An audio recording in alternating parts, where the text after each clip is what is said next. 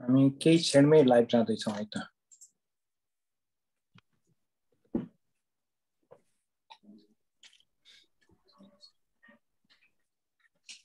हाम्रो धेरैजना लिसनरहरू चाहिँ फेसबुक लाइभमा जोडिने हुँदा म कार्यक्रम सञ्चालन गर्न चाहन्छु। In Mid Western University Surkhet Nepal भन्ने शीर्षकमा रहेको सुनसिट कमन फोरमको सचिव यहाँ सबैलाई यो कार्यक्रममा स्वागत गर्न चाहन्छु। आज आउनुभएको आजको गेस्ट प्रोफेसर डाक्टर नन्दबहादुर सिंहज्यूलाई हृदयदेखि नै धन्यवाद भन्न चाहन्छु। समाजमा परिवर्तन छ। हार्वर्ड होस् या अक्सफोर्ड युनिभर्सिटी होस् अमेरिका र इङ्ल्यान्डलाई अहिलेको ट्वेन्टी फर्स्ट सेन्चुरीमा जिएट ग्रुपमा सामेल गराउन ठुलो योगदान गरेका थिए ती युनिभर्सिटीले। त्यसै गरी हाम्रो नेपाल नेपालको मिड वेस्टर्न युनिभर्सिटी पनि सामाजिक हिसाबले होस् या आर्थिक हिसाबले होस् नेपालको विकासमा कोसेढुङ्गा होस् भन्ने हाम्रो सबैको शुभकामना छ। यसै गरी आजको यो प्रोग्रामको अध्यक्षता गरिदिन अठारौँ कार्य समितिको अध्यक्ष मिस्टर दीर्घराज जोशीज्यूलाई आग्रह गर्न चाहन्छु। उहाँसँगै अनुमति लिँदै कार्यक्रम सञ्चालन गर्ने अनुमति चाहन्छु। साथै आजको यो प्रोग्रामको औचित्य राखिदिन अठारौँ कार्य समितिका अध्यक्ष दीर्घनाथ जोशीज्यूलाई म आग्रह गर्न चाहन्छु। धन्यवाद मित्र ग्रिमसनजी आदरणीय गुरु डाक्टर नन्दबहादुर सिंह सर तथा उपस्थित सम्पूर्ण अग्रजहरू मित्रहरू सबैमा संसिक अठारौँ कार्य समितिको तर्फबाट फेरि पनि स्वागत तथा नमस्कार।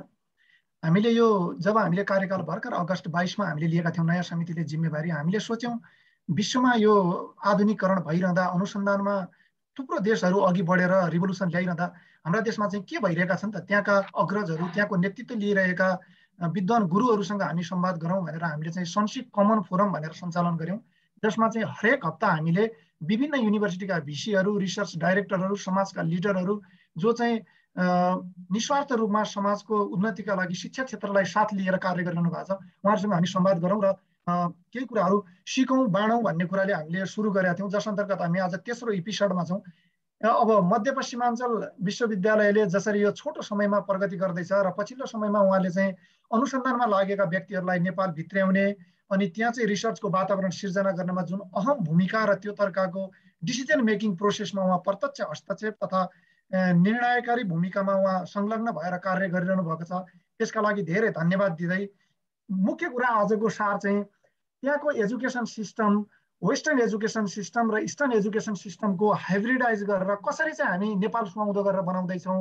अनि विशेष गरेर यो इभ्यालुएसन सिस्टम करिकुलम अनि टिचिङ लर्निङ एटिच्युडहरू डिजिटलाइजेसन र एक्काइसौँ शताब्दी सुहाउँदो हाम्रो आधुनिक शिक्षा प्रणाली कस्तो हुनसक्छ बारेमा आदरणीय दिग्गज गुरुले जसले चाहिँ जापानमा पनि शिक्षा अनुभव अनुसन्धान हासिल गर्नुभयो नेपालका कैयौँ संस्थामा नेतृत्व लिनुभयो उहाँसँग आज हामी धेरै कुराहरू आशा त सिक्नेछौँ। यसको औचित्य नै आज हामीले विश्वभर हामीलाई सुनिरहनुभएका यो लाइभबाट युट्युबबाट पछि गएर डकुमेन्ट्री बन्ने र सरका स्लाइडहरू पनि हामी वेबसाइटमा अपलोड गर्ने हुँदा लङ टर्म पनि एउटा रिसोर्स बन्ने छ आजको यो लर्निङमा सबै पार्टिसिपेट हौँ।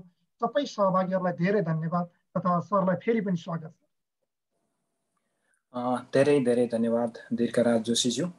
यसै गरी talking about the speaker Uh, he has been working as a full professor at the Central Department of Zoology, Tirban University, for the last 26 years.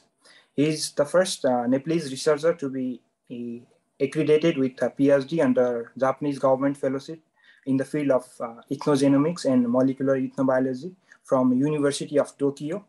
Uh, recently, Professor Singh has been nominated as the Vice Chancellor of uh, Midwestern University based in Surkhet, Nepal, uh, Professor Singh has conducted his research on the eight gene system of the nine genetic marker among highly isolated six uh, Nepalese ethnic group.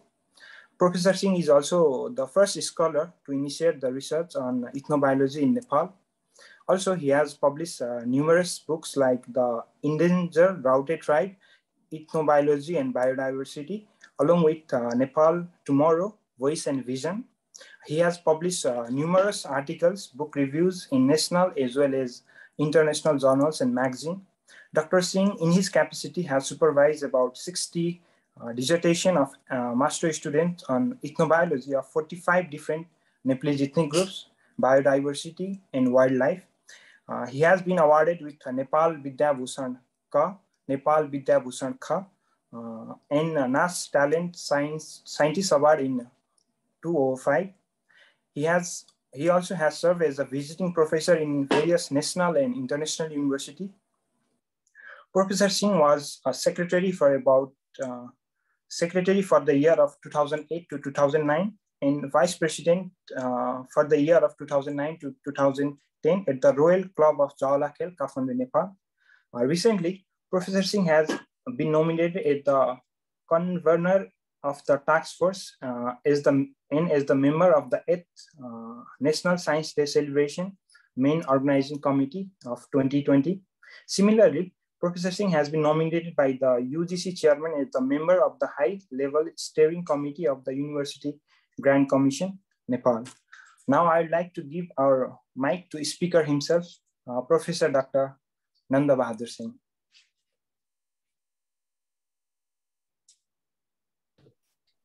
Uh, thank you, Sun, for your warm introduction. And let me open my slides.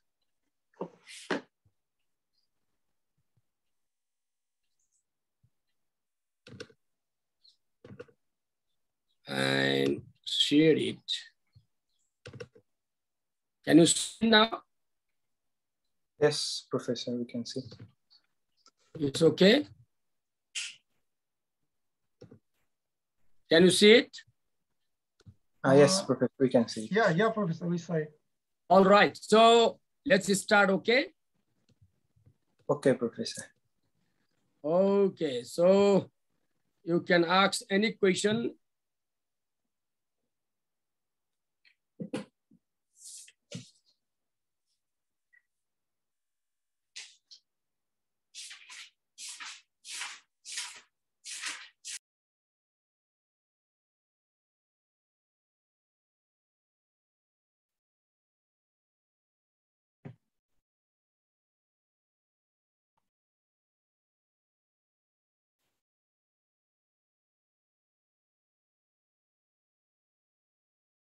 केही error आएको हो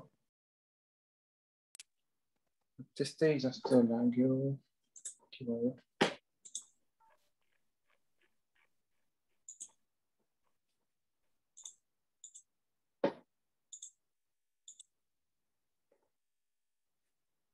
sir हट्नु भयो त उहाँको internet केही भयो कि एकैछिन कुरो है एकैछिन अनि त्यसपछि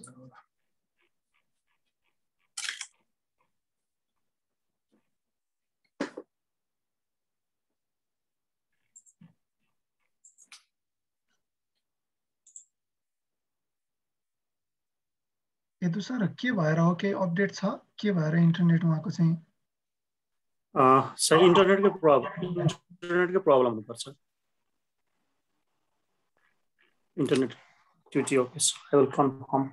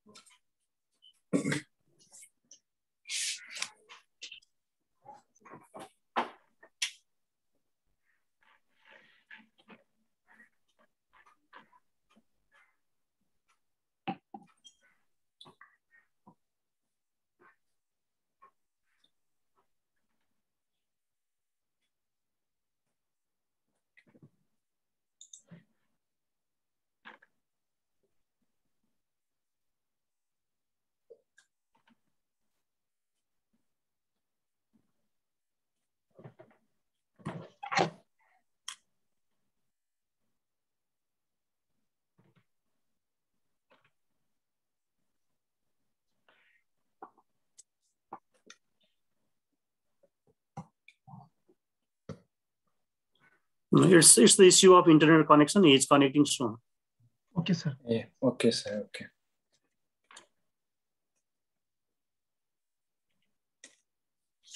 अरू साथीहरू पनि जोडिने छुट्ने भइरहेछ के हाम अँ, आउनुभयो सर ल ए आउनुभयो सर आउनुभयो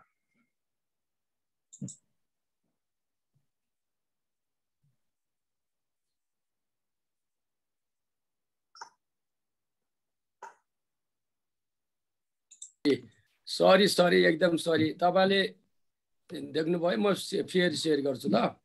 ल हुन्छ सर हुन्छ। हुन्छ सर। यहाँ मेरो के भयो भने अब यहाँ कुरा नगरौँ बत्तीको ठ्याक्कै नेपाल देख्नु भएको छ नि।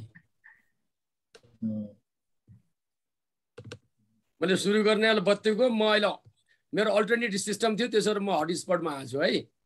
ल हुन्छ सर। हुन्छ सर ठिक छ नि सुन्नु है अब देखिन्छ है। हुन्छ सर। एकदम राम्रो। तपाईँ कस्तो मिलाएको नेपालमा? यो ठ्याक्क मैले कुरा गर्ने बेला फोन के अरे बत्ती गयो। कति राम्रो। यहीबाट म तपाईँले सुरु गर्छु आरएनडी कसरी जान्छ भनेर है त ल। थ्याङ्क यू सो मच सोन सिक and its uh, president and the master of ceremony, uh, both of you and your uh, society, Society of And all the participants and friends scattered throughout the world.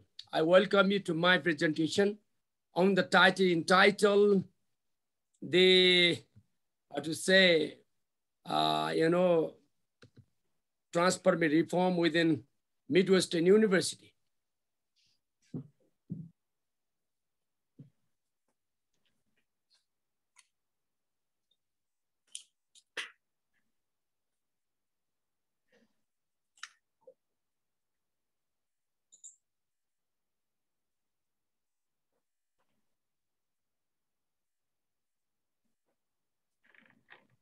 सरको mute भयो कि sir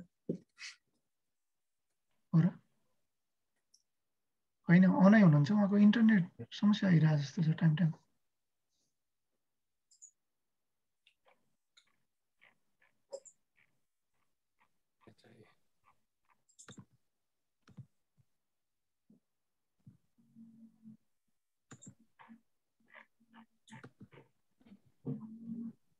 ठिक छ होइन सुनिन्छ सुनिन्छ okay sorry. Sorry for the interruption म अब तपाईँहरूसँग अब यसलाई छेउमा राखौँ जहाँ मिल्छ ल okay so today I'll talk to you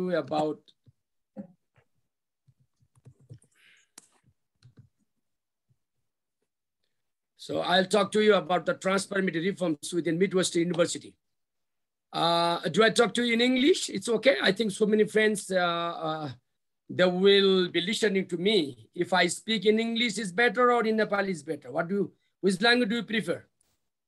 Anything you wish, sir. We are ready. It's okay. Okay, thank you. Let's let's talk in English if it is okay. Okay, sir. Okay, sir. so thank you for the invitation. Today I'll talk to you and how is Midwestern University at the moment and what kind of reform did I start after becoming the Vice Chancellor of Midwestern University. So I'll talk to you briefly and with the picture so that many people will have a chances to ask question uh, to me if there are any problems. And uh, let me start with the topic, the transformative reforms within Midwestern University in Nepal. You know, the, why do we start, um, why do we start to set up university? What is the purpose for establishing university? Very simple answer for this is to flourish knowledge and in, in, in enlightenment as uh, you know Buddha did in Nepal. At the same time, its application are useful for the government, for the industry, for the commerce, and for many, many things. It is for the nation and community. The function of the university are two. There are two functions, very simply. One is the knowledge should be universal.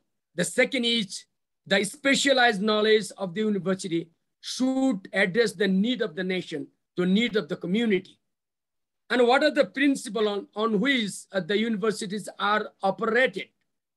These are very simply four principles globally. One is the, the principle of liberal theory, where liberal knowledge is liberated from the university. Second is the principle of the professional theory, professor permission theory. So many professional people, specialized peoples are produced by the university.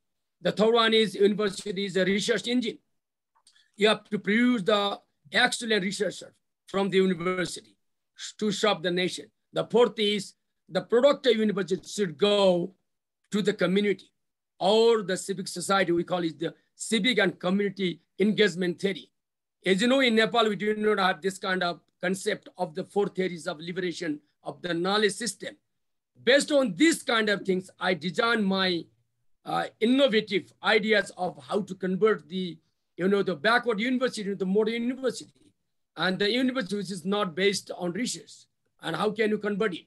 For this, you know, I have uh, simply three S theories, S1, S2, S3, three A's plus S3, three A's and one GT. GT means grounded theory. So I have designed my idea, my, my uh, integrated vision paper based on the three A's and one GT theory. So what is S1? Out of three S systems, one S is situation analysis. If you want to do to convert the university into modern uh, academic hub, you have to know what are the problems of that university, what are the reality, because I did not go there before. As a vice chancellor, I, when I went there, then I, I came up with the idea that why the university always in crisis, why there is a continuous strike, why there is a lockup, what made these people to lock up to start to engage in a strike. Then when I went there, I came to know that it was full of over politicization. Politics is not needed at the university, but government policies are needed. But the over politics from the university student, from the professors, from the staffs, the administrative is not needed. But if you go to Midwestern University, there is over politicization. The big parties are trying to dominate the academic realm of the university because the second problem is the there is a superficial engagement of university authorities. The university authority, when they are appointed as a vice chancellor or register or the dean and director, they are not so much serious how to convert university into modernity. They, they just go there for drawing salaries, but getting some personal benefit. And the another thing is there is a lack of quality education.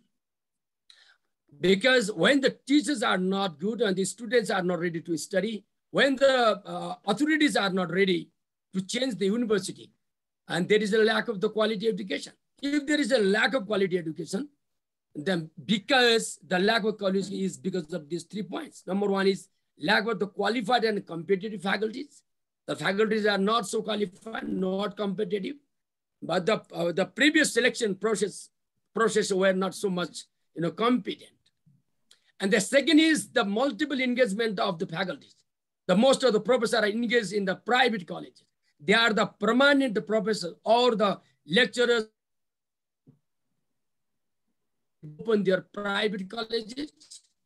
They engage outside and give most of the time there. But if you oppose this kind of idea, then they've been attacking. These days, I'm becoming a tiger of that one. Very frankly talking to you. The last one is the retention problems of the qualified student.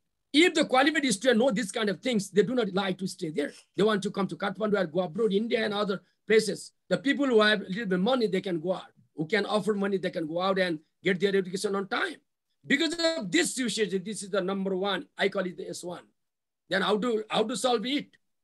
S2 is the first is the situation, uh, situation analysis. Second one is is the solution initiative. For that, what did I do? I just want to tell you. Then first, number one is what kind of, why did I become the vice chancellor? How do I want to change the university? I made my vision paper, presented to the chancellor, that is the, uh, uh, the right hand prime minister and education minister. And after that, I went to the circuit to take up my position. And what happened at that time, I made my presentation of my vision paper to the chief minister in his cabinet. After that, what happened, I was trying to put my ideas in front of the political parties of the local leaders, but it was difficult because there was a COVID-19. Then now I'll do, last time I did this one, I finished it within next last three weeks, I finished it. But before that, I went to my faculties, my administrative staff and student, and I made a presentation there. What is my vision? Then in addition to that, I also made a fifth point, my, my, my, my presentation to the public engagement, to the civil society members, to the social mobilizers, the donors we help to set up the university. And what happened? When I went there, and at the time what happened, and many people are happy with this kind of vision. And then the third one, the, my third, third point each, my third point is S3, solving the mechanism and uh, solving missions and mechanism within Penta model. I put forward a Penta model. I have a five point. Number one is academic excellence. Number two is economic growth. because number three is um, the redesign of course of study. Number four is, um, you know, this exchange of the professor is student. And number five is infrastructure development. Sir slide change भइरहेको छैन। ए हजुरले slide so गरेर राख्नु भएको छ कि छैन? कन्फर्मेसनको लागि सर मैले गरिरहेको छु। ए यो त चेन्ज भइरहेको छैन सर फर्स्ट ऊ मात्र देखाइरहेको छ। आउनु पर्ने त्यसो भने I will I will change it I will change let me let me think I go back again if it is then okay are you okay now we s- still we saw just the first slide. त तपाईँले त मलाई भन्नुभयो नि त अघि त। Sir एकचोटि फेरि यो स्लाइड सेयरलाई बन्द गरेर फेरि मैले बरु फेरि बन्द गरौँ? हजुर त्यो सुरुदेखि जान्छु। म यसलाई क्लोज गरिदिउँ है। Okay sir. के भएको त यस्तो? किन यस्तो भएको?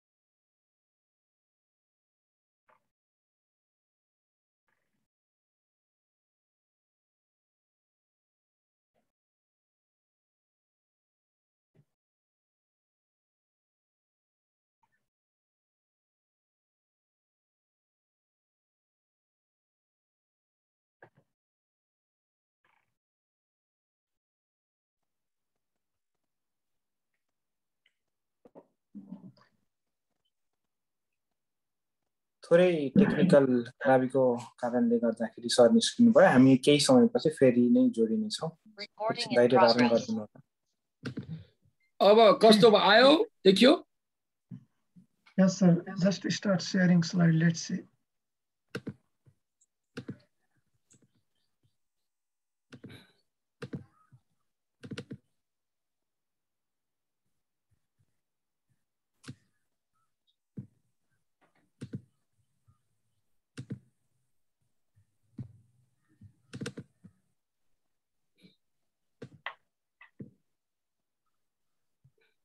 Yeah, we start seeing, sir. Just try to change the different slide. Is it working or not?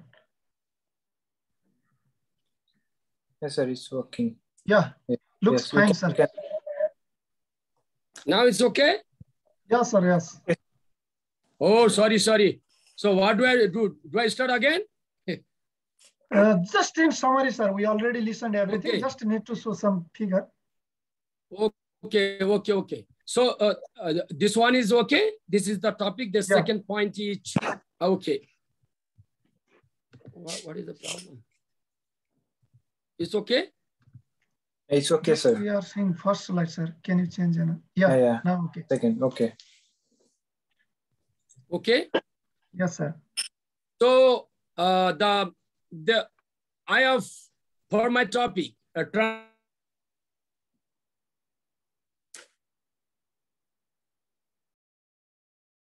transfer reform was in Midwest University. One is stand for situation analysis. The situation very much uh, dominated by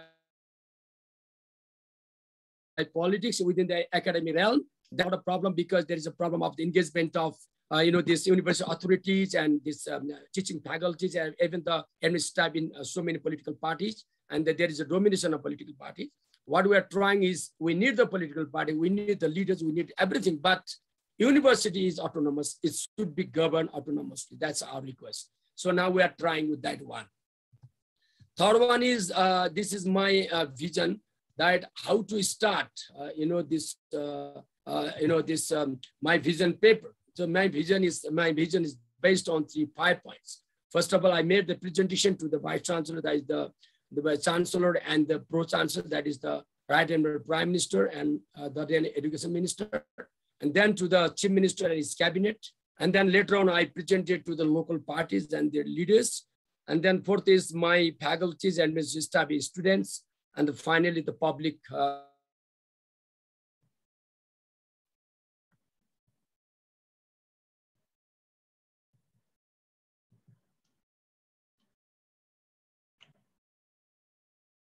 you know, this civil mobilizes donors and all. We have, uh, you know, this very simply. Uh, uh, five points. Number one is academic excellence. Whatever you do in the 21st century, everything should be on the innovations and academic excellence. For that, I have given some important things here. The selection of the people should be based on academic excellence and meritocracy. There should be incentives for the publication of papers, R&D centers, so many other infrastructure development and the course of studies. The economic growth is, uh, in, in Nepal, you know, so many universities are just operating their activities based on the money given by the government. They are not ready to generate their own economic growth. Therefore, I put forward one more to economic growth. This economic growth will help us show you how did I, how can we make the uh, you know income from the university from our activities. We have to develop the entrepreneurship. We have to develop the industries within the university so that the student can get a job. Then the, the, the university can have uh, economic sustainability. The third point is the redesign. Uh, it is not the reform, but I'm redesigning the course of study. Within the next six months, we are making new course of study. The course of study should be related to the market relevant market demand. So that the fourth point is only we are teaching, uh, the teaching is by the local uh, um, people. Uh, so we need the expert from outside. We need the exchange of foreign professors. Foreign student should come there. This is the fourth point. The fifth point is in order to do all those things, we need the excellent infrastructure development and its completion on time. These are the different. Today, I do not have much time. That's why I gave you uh, this kind of point in short and go ahead. And based on that one, this is the area in Surkhet, you know, these are the area in number one, you can see here, there is 20 bighas of land. This place, there are 12 bighas of land and there is around five to seven bighas of land. And altogether, we have 2,000 bighas of land given by six, you know, community forestries. But we can use, this is in the middle of the heart, in the heart of the, um, you know, this Surkhet Valley. And if you look into this one, and from this one, I try to set up new dynamic research center within the MU.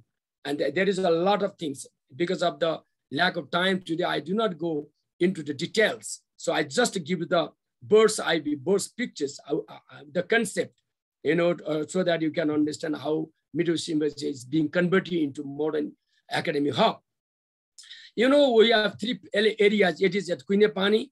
You can see it at Quinepani. We have this bigger 20 bighas of land. Another is the center campus nearby. It is 12 bigger of land. Another is the Sano Surkhet. There is five bigger. But this in three areas, I have developed my model. Look here. So this is the future model of Midwest University. And nowadays, what kind of modern model is with this model, we cannot convert university into modern academic research center. We cannot produce the capable student so that to compete globally or nationally. In order to do that, we have to think right now, what kind of colleges should we make? What kind of colleges should the university model on? So I have given the you know pictures of these 12 different kind of 10 different kind of models. You know, this uh, look here. This is the model. What I'm trying to make is the future model I mean based on the technical vocational education which is based on research and innovation. So if you do this kind of thing, I designed this uh, 10 to 12 um, colleges uh, based on the natural resources and the need of the people in that Karnali region. And you know, the very important question is, Karnali occupies 22% of the total land of country. Is the biggest, you know, this province in Nepal, one of the seven, one of the seven provinces, but it is the biggest province in Nepal, which occupies 22% of the total land of nation. And it has a, a lot of natural resources, biodiversity. We have more than 700 uh, medicinal plant alone. So you can understand we have a lot of natural resources and we have only 6% of the total population. We have a small amount of population, but we have a big land. This is opportunity for us to convert into economically sustainable region. Look here, the interesting thing is that, interesting thing is that the ranking, world ranking of the university. When I started to compete uh, for the post of vice chancellor, because I was selected on the competition model, and uh, we were 33 people. Uh, out of 33, I was uh, selected within the six months to three, and there were, uh, among the three, I was on the top, so that Prime Minister uh, nominated me as a vice chancellor. During the selection, when I was um, um, to submit my vision paper at that time, I looked into the ranking of that university. Interesting thing is that, you know, in 2019, the ranking of the Midwest University Watch. Hello? Can you see it? Yes, sir. Yes, sir. Yes, the ranking was 11,881. But in 2020, November, it was 11,700. This morning, I looked it, it was today, September 11, 2021, is 11,704 on the, you know, the unit ranking, global ranking. It is sixth in the nation uh, among the uh, 11 universities, but it is the 11,704 in the world. You can imagine it. We are lagging behind. So I think the, the slides are not moving so fast. They are moving. And then that's why in order to go ahead, and I try to make, uh, you know, this converting model. This is the picture, you know, this is the picture of our land 20 biga in Quinnipiac. So I converted this, I converted this model into like this. I made this model with the engineers, look here, and it took around six to seven months. And with this model, I want to make the outer side at the economic zone around and the inner side, the academic one. And outside side is like this. Look here. This one. Outside is a three-story building. Inside will be a five-story building. In between these two areas, there will be two lane road around this whole university around. And this area will be economic zone. And here will be the, uh, you know, the physical gate. But from here to inside, it will be the digital gate. This digital gate cost around 50 lakhs. From here to outside to go digital gate. Over there, you can see this is the five-story building. You know, uh, uh, first floor will be for the party palace, semi party palace. Second and third floor will be for international conference. Fourth floor will be television and uh, you know this uh, FM. The fourth floor will be the will be the for yoga center. If you look by the side of this, there is 11 story big AMU building, get to jet AMU building, and the connection between this building, this will be 200 meter uh, underground tunnel. From here, you, you can have a digital gate so, and from inside, it will not be, this area will not be disturbed. This is the um, uh, big building of 401 room. It is the biggest building where the vice chancellor and all my registrar and dean and direct everybody, within the next two months, we will use this one. And it is uh, close to completion. And this is nine story, you know, this, uh, this uh, you know, this, um, uh, um, uh, this story, nine story uh, beautiful, you know, this uh, suspension bridge. You can go with the e-library. On the top, you can sit down the trees and beautiful. You can watch the, uh, you know, this, uh, uh, what do you say, the old city. But uh, 20, 20 to 25 students will be there on, the, on the top of this model. In this way, you can have a lot of beautiful area. From this one, if you go around this one, there will be 350 to 400 you know, sorters for the for the for the you know this uh, this uh, what you say rent uh, for the public rent. From here you can earn a lot of money, and this is the uh, model of three-story building, and each block will be five uh, five blocks will be into one uh, for the supply water and water treatment system, and this will be the MU gate. This is a new gate. This gate will be constructed this year. So I can show you next year. I can show you with a new gate and new construction. And uh, this is a new gate outside physical. Inside it is the digital gate. So from this, you can go inside. Look here. I told you this is a three-story building. This is the five-story building. And uh, in front of this building, there will be three feet. In front of this uh, shutter, there will be three feet space for the children and people. And here there are two lane, one lane going and they're coming. But actually, there will be no vehicle moving on this one, only to transport and to go and come for the goods to supply only. Otherwise, the people can use this area very beautifully. And this area around this one, 350 to 400 shutter will be there for public purpose. And you can earn a lot of money. And on the second floor and third floor, we can use it for the dormitory of the student, poor people of the Karnali, especially the uh, son and daughters of the people. And on the on the fourth or fifth floor, you know, we can have the international level dormitory for international professors and international students. So with one model, you can give a lot of things to many people. And uh, and and this is this is the digital uh, gate, a design of the digital gate. And this is another Queen How do you design at the micro level of the of engineering concept? And this is uh, the uh, structure Queen I showed you. And altogether 90 to 20 structure we will construct here. All this picture we have given it here. And this is another place. By the side of the 20 biga, there is 12 biga. This is the science block. This is the northern, the southern part is the northern part. I'll talk to you southern part now. Look here, we design on this. This is southern part. We'll have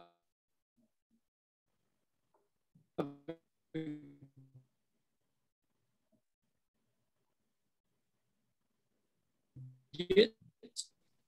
And inside gate, you can get with this, this gallery, this and BA, BBA, BBS, MBA, MBS student, and the dear teacher will be the you know guardian for this model. So the model is based on the uh,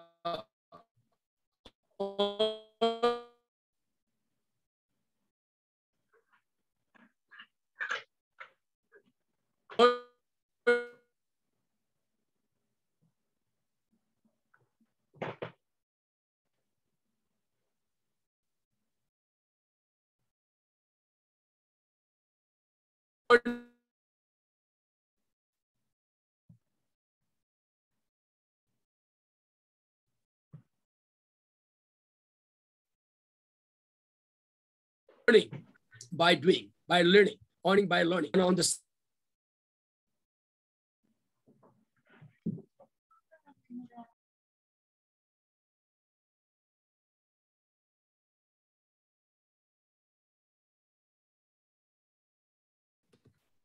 सुन्नु भएको छ? Hello हजुर sir सुनिरहेको छ। यो ऊ share भइरहेको छैन? सेयर चाहिँ अहिले भर्खरै बन्द भयो। अहिले छैन अहिले त? हजुर हजुर हजुर। भइरहेको छ होइन सेयरिङ? हजुर हजुर सर भइरहेछ हामीले सेयरलाई यहाँसम्म गएको थियौँ है। हजुर। अब यो हामीले यो साउदर्न पार्ट हेऱ्यो अब नर्थर्न पार्ट छ पार्ट मान्ने block And what I'm trying is uh, to convert whole center around the territory. We will construct the 32 five-step building. And this building will be converted into the dormitory for the national interest. These are the study corner. 15 to 15 students can go and they can study. They can do yoga. This is uh, the mixer model of Oriental our philosophy as well as the Western philosophy. Because we people, uh, uh, you know, in the eastern part of this world, we are guided by the yoga, by our philosophy. Therefore, students go inside, they can uh, take up their shoes, they can do yoga or they can study, they can move around, they can study the things you can still look here. These are, these are the small, beautiful study centers. So uh, this kind of design I have planned it. And this is another northern side. And after northern side, this is the third place we call is the Sanosike where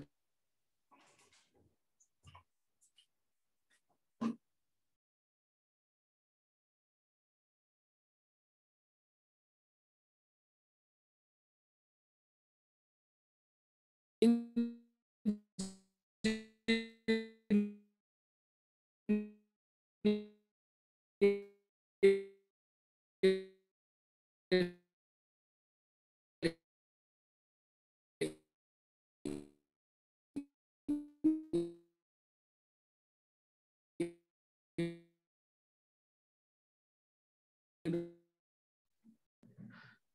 Bahadur सरको internet week भए जस्तो छ। हजुर त्यस्तै जस्तो लाग्यो।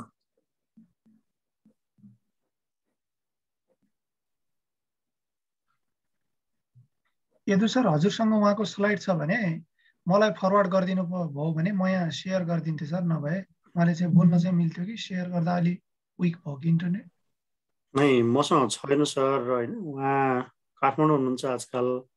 ए। हजुर। सरसँग स्लाइड मागेर म हामीले सेयर गर्दा नि हुन्छ होला दुर्गा दाइ एकदमै। अलिकति नेटवर्क कमजोरी भएर अलिकति राम्रो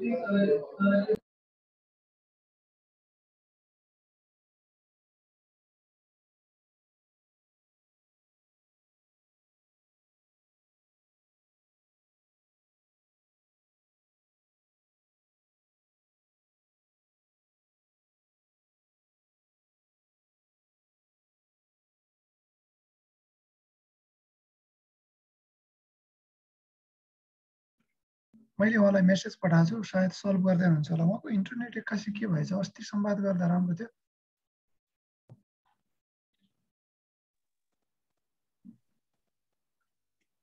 लाइन गयो भन्ने जस्तो कुरा गर्नुभएको थियो कि? सायद त्यही कारणले होला। केही क्षणमा चाहिँ हामी फेरि जोड्नेछौँ।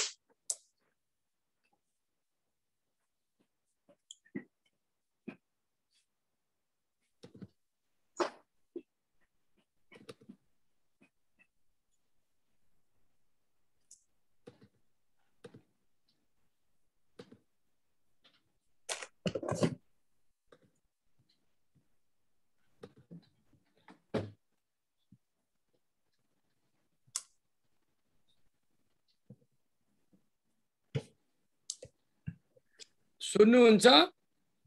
हजुर सर। हजुर सर। सरी सरी यहाँ त बत्ती गएको गए नेट फालेको फले sorry so this is the third place first I talk to you Pinepani second is in another place twelve bigha and now third is engine area this area I have design like this the southern part is already the building is constructed is this is the slide I haven't to seen the slide No, no, sir, no, we are not. Oh my God, what is happening? So looks like we need a big transformative reform in internet that area, sir. Yeah, yeah, yeah. This is a big problem. I, I am using here. Here, uh, I am sharing again. Let's see. Can you see it here? Yes, sir. Now we can see. So, okay, now we have started this to the up to this place, right? Could you see up to this one? Uh, yes, sir. So this is the uh, out of the I I, I finished uh, Kuijnepani, then I move on to the southern part, and uh, after finishing southern part, I move to the northern part. In northern part, this is the area. You know, this is the area in northern part, and this is converted like this area. It is around uh, total southern and northern. This this area this, this total, this is 12 big, big of land, and this is converted into the southern part like this. This is the science block. And then second one is the northern block. This is the humanities block. In this block, we have designed uh, this uh, study corner, around 15 to 20 study corner. They students go there and they took up their uh, shoes and they can uh, enjoy yoga as well as they can study there. And when they come out, there are canteen. There will be greeneries and there will be flowers, and then we will plant uh, these uh, fruit-bearing plants, and people can enjoy it. And after that, this is the central camp, uh, northern side of the central camps. After finishing this, you can go to the uh, Sano Surkhet, this is the engineer block. We have bought this is recently, this is a place, it's not so much developed. But after this, I design like this. You, know, you can see, we can design. And now the, south, uh, the southern part, already we have already constructed a building. This is 52 you know, uh, room building. It's a big building. Within the next two months, we'll transfer our students of engineering and their staff to this place. But we do not have their dormitory. We do not have, um, you know, this uh, business center. What I'm thinking is the, the, the uh, northern part of this area, uh, which is around five big of land, I'm trying to convert it into the international level, uh, you know, this residential area for the professor and student of national and both male and female. And then outside we'll construct the this you know this sorters for the business purpose. And this area we can convert it in a small town of economic growth.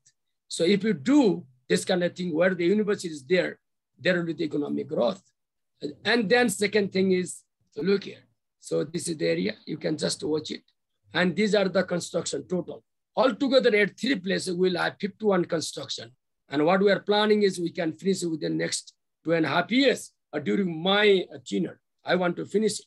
And from this time, this year, we will start the physical construction. Last one year, we work on the software and swimming planning. Look here, what is the budget of this one? You can ask it. The total budget of this one each, you know, uh, total budget of this each 21.82 million US dollar. In Nepal, we can say 2 crore 20 lakh American dollar, which is equivalent to 263 crore. 263 crore Nepali rupees is not so big one. But, uh, and in addition to that, look here, this is the final, um, you know, this 3D visual. I have made the 3D of five to seven minutes, but today I will not make the presentation. This is the final pictures of the central office of Midwest University. And this is the 11 story building, look here, this one. We have a different occupation, occupancy model as well. If you convert this and the whole university, the, the, the, the, the Surkhet city will be converted into the Midwest University, you know, this uh, university city.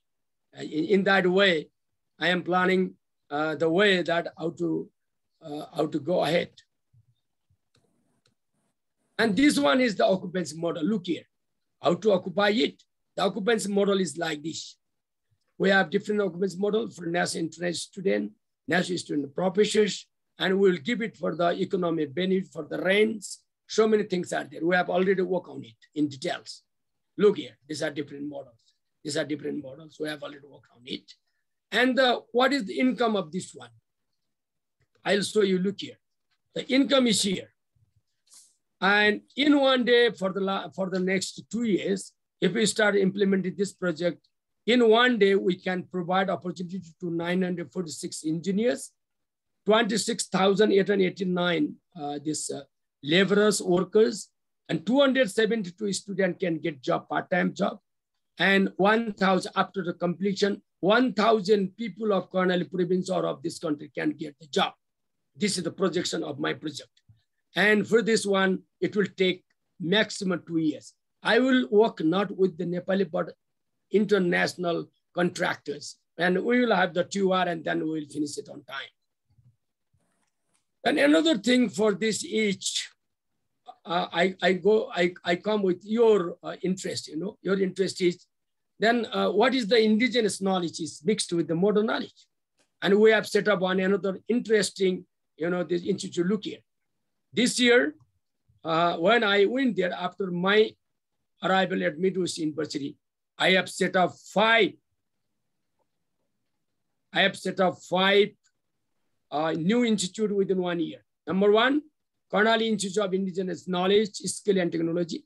Number two, Faculty of Health Sciences. Number three, you know, this uh, Research and Development Center, R&D Center. We do not have R&D Center in Nepal.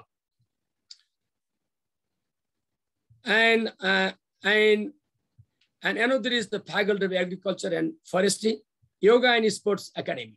Four-year yoga and four-year sports science we are going to start.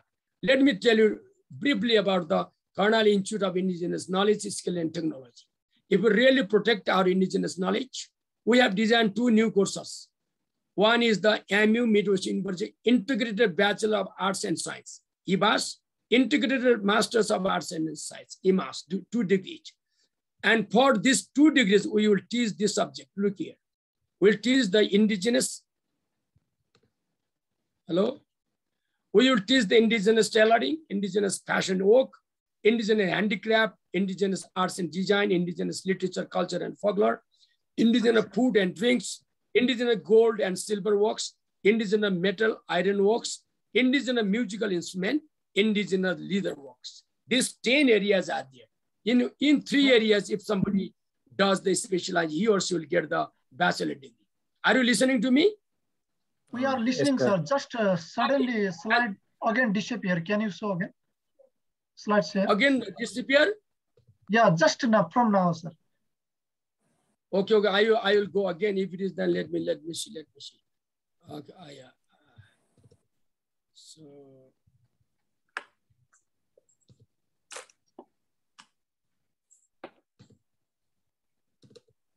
Can, can you can you see now?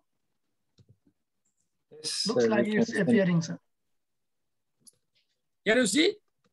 Yes. Yes. Okay, now it's okay? Yeah. Okay, now uh, I am coming to this point. Uh, so we have this 10 indigenous concept. If somebody does, especially in three areas, he or she can get the degree. It is a new degree. So what we're trying is we're trying to, to mix or to blend the Karnalis indigenous knowledge with the modern technology in the world. This is one way, one concept. Second is this one. So the second is life skill packages. We'll teach them artificial intelligence, robotics, drone for the 21st century. How can you do it? Second is application of ICT business, emerging businesses, e-commerce companies, influencer e-commerce partners like this one. And at the same time, what we are planning is, the second is faculty health side. Look here.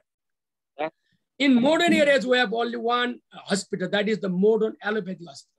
But what I am trying is, I am trying to make innovative medical hospital with new three other concepts. The another concept is traditional Ayurvedic and other medical sciences, okay? Uh, then genomic medicine. On one side, we will have the modern allopathic, which is all over the world. It is dominating in the world. The second is I want to have our traditional medicine, which diseases are not or could not be treated by the modern allopathy, can go to the traditional medicine. If these two systems fail to treat the disease, they can go to modern genomic medicine. The third side is the genomic one. Look here. So these three areas, that is allopathic, um, modern allopathic hospital, traditional Ayurvedic or other traditional um, type hospital, or the genomic medicine hospital. If these three things bring into one, this type of hospital will be innovative in the world, not only in Nepal. Therefore, I designed this kind of hospital. We are going to have 35 bighas of land by the side of the very river, the, uh, this very river in Surkhet. So in that one, we want to have spinal injury center, which is very high Karnali. At the same time, we want to set up traditional wellness and relaxation center within the hospital area so that we can develop the health tourism globally. And then another thing is, look at this, is interesting for you. What people are doing these days, generally what people are doing is that uh, there is no R&D center at, at any uh, university in Nepal there nowadays, but they talk about the R&D, but we do not have R&D. What I'm thinking is that we should have the R&D center. We have already decided and set up R&D center headed by R&D director. In this area, on, on one side, it will be here, look here. On the one side, we will have the natural science. On the other side, we will have the social science. Look here. So this natural science and social science both will be very much useful for us, you know. And these areas are very much useful for us.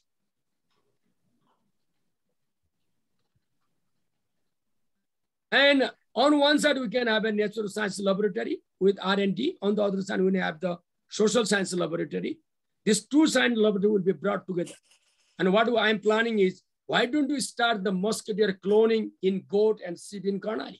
Why don't we start the Yarcha Gumba and medicinal plant research in Karnali area? And which will change our economic conditions very fast. Therefore, I am making this kind of new concept. On one side, in our laboratory, we'll have the, you know, this uh, natural science laboratory. On the other side, we'll have the, the social science laboratory. This both sides will be brought together into one, will be headed by the R&D director. And the R&D director I have already selected globally, who is two PhD holder with a few patent rights. He has published more than 120 impact factor journal. He is a Jha, Sweden Jha, is coming uh, very soon to, to, to start this, you know, this, this research very soon, in this lab. And another thing is, and now I just talk to you and then come to the conclusion that what did I do in my transfer? And first of all, my, uh, within the one and half years, what I did is that I tried to set up, thinking of the system setup. There is no system. So for that, I have studied 27 to 30 various policy guidelines I have already been made. And now we will, we are close to completion. Within next two or three weeks, we'll put into order and within the next six months, we will set up our university with the system operation. Second one, we have already started ERPS, EMIS, Enterprise Research Planning System, Education Management Information System, uh, you know, learning management system, more than 35 dynamic website, and the AME mobile applications. So we, for this, we have hired a team of the IT expert from the 17 top uh, competitors who has held his PhD from the Princeton University in IT.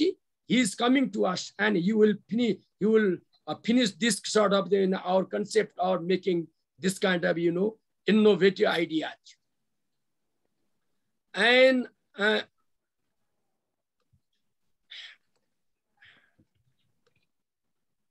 And the third one is the messy MU within the various MOU within the various university activities. We have started memorandum understanding with many universities in order to exchange a professor a student. The another important thing is, another important thing is, uh, more autonomy is given to our institutions. For example, MUSOM autonomy is fully given. They can conduct their exam as well without any interferences. So what I want to do is that Autonomy is very important within each and every institute so that the academician can imagine a lot of things. For that, we have started this at MU. More autonomy is going to be given in the days to come. And in addition to that, uh, the sixth number is well, now we have developed online uh, classes, online exam, you know, uh, but we have 150 classes we can study at one time now. Last time we published 67 result no, uh, you know, our no academic year and semester were lost, and that is our success. The important, another important transformative reform is that I started the free and fair selection of registrar, deans, and campus chiefs through the open competition. This is the first time in the higher education in Nepal. And the, another important thing is that the MUSOM, Midwest University School of Management, I become one of the three top centers of excellence in Nepal. So we are proud of our institution this time. And another thing is that, and now what I think is that the AMU should act as the knowledge center for the research-oriented, innovative patent right owing university with its market-oriented course of study and product so that we can sell our you know, new product in the market at national, at regional, and international level. And another thing is that AMU Academic Think Tank I have made this, we call it the Pragyig Ashram in Nepali. I, have, I am going to hire 25 PhD and postdoc researchers globally uh, to our university within maybe within next one and a half months we will hire. And we have already made the fast track binium of Midwest University. Based on that binium, we will hire 25 PhD and postdoc with seven full professor, eight associate professor, and 10 assistant professor so that they will act as innovator. They will convert our university in modernity. At the same time, if we do that, after that, our university recognized as a university where uh, we can become a part and parcel of world ranking university, research and innovation, patent right, publication will be there so that we'll have the economic outcomes for our nation and community. And MU will be the only higher education institute to be economically sustainable, self-sustainable, and academically center of excellence. Uh, and another one for this, I can show you some few slides. Look here. So this is the um, you know our two story and second and third story into the conference. We want to make like this, and this is inside area, this is outside area. This is the e-library. I want to develop the physical as well as the e-library. Within this year, we have already allocated a lot of budget for this. And this is the university gate. This is the, you know, this uh, swimming pool, and this is the yoga on the top. And then with this one, we can cover these kind of things. And last, you know, these are the, you know, this uh, property of our nation. We have 126 ethnic group. And if you do the research on ethnic group, on their biological site and the plant on their biological site, Nepal become a landmine, is a biological landmine. It is a biological land, so we can earn a lot of things. So this is the short uh, vision paper. How can I convert my university into modernity? So with this one, I just come uh, to the conclusion and I listen to your questions. What kind of question do you have? Please go ahead and you can ask me, uh, you know, these uh, questions to me. And thank you so much. But uh, today, as you know, in Nepal, we do not have very nice, I know this uh, sometimes, the even though I have a hotspot, uh, you know, this system, but did not work sometimes good. But I made my presentation. I don't know whether you listened uh, uh, fully or not. Now I finished my presentation. Now I, I, I, I open floor to you in order to ask the question. Then I will uh, um, respond to your questions. Please go ahead. सरलाई धेरै धेरै धन्यवाद transformation only cannot be done by a good dream, but it is possible when you pick a pen, write a goal, and work harder and harder for it, just like Professor Singh. धेरै राम्रो अनि उपयोगी प्रेजेन्टेसनको लागि professor सिंहलाई धेरै हृदयदेखि नै धन्यवाद दिन चाहन्छु यो प्रेजेन्टेसन लाई धेरैजनाले यो प्रेजेन्टेसनको रूपमा यो धेरैजनाले मिडियो वेस्टर्न युनिभर्सिटीको ट्रान्सफर्मेसनको बारेमा जानकारी भयो। पक्कै पनि आउने दिनमा नेपालको विकासको लागि यो युनिभर्सिटी कोसेढुङ्गा साबित हुनेछ। अबको पालो रहेको छ question and answer सेसनको the floor is open for you for all of you all and for the question answer session thank you धन्यवाद सर। मैले क्वेसन सोध्न सक्छु होला होइन Kiran sir? Please go ahead go ahead एकदमै I opening presentation sir पहिलोचोटि सुन्न पाएँ मैले नेपालको भिसीबाट। तपाईँको शुभ नाम पहिले एक मेरो शुभ नाम दीर्घराज जोशी सर। ए ल दीर्घजी तपाईँ नै ल सरी सरी दीर्घ हजुर सर एकदमै एकदमै फोकस भएर सुने अत्याधिक इन्टरनेट डिस्टर्बेन्सका बावजुद पनि एकदम हँसिलो अनुहार बारम्बार जोडिँदै एकदमै सेयर गर्नुभयो। त्यसका लागि म एकदमै कृतज्ञ छु। मैले चाहिँ सर थोरै यो जुन हामीले नेपालमा यो के भन्छौँ विभिन्न इन्डिजिनियस कुराहरू र डोम राउटे यी सम्प्रदायको उत्थानका लागि राज्यले थुप्रै बजेट मात्र छर्छ नि सर।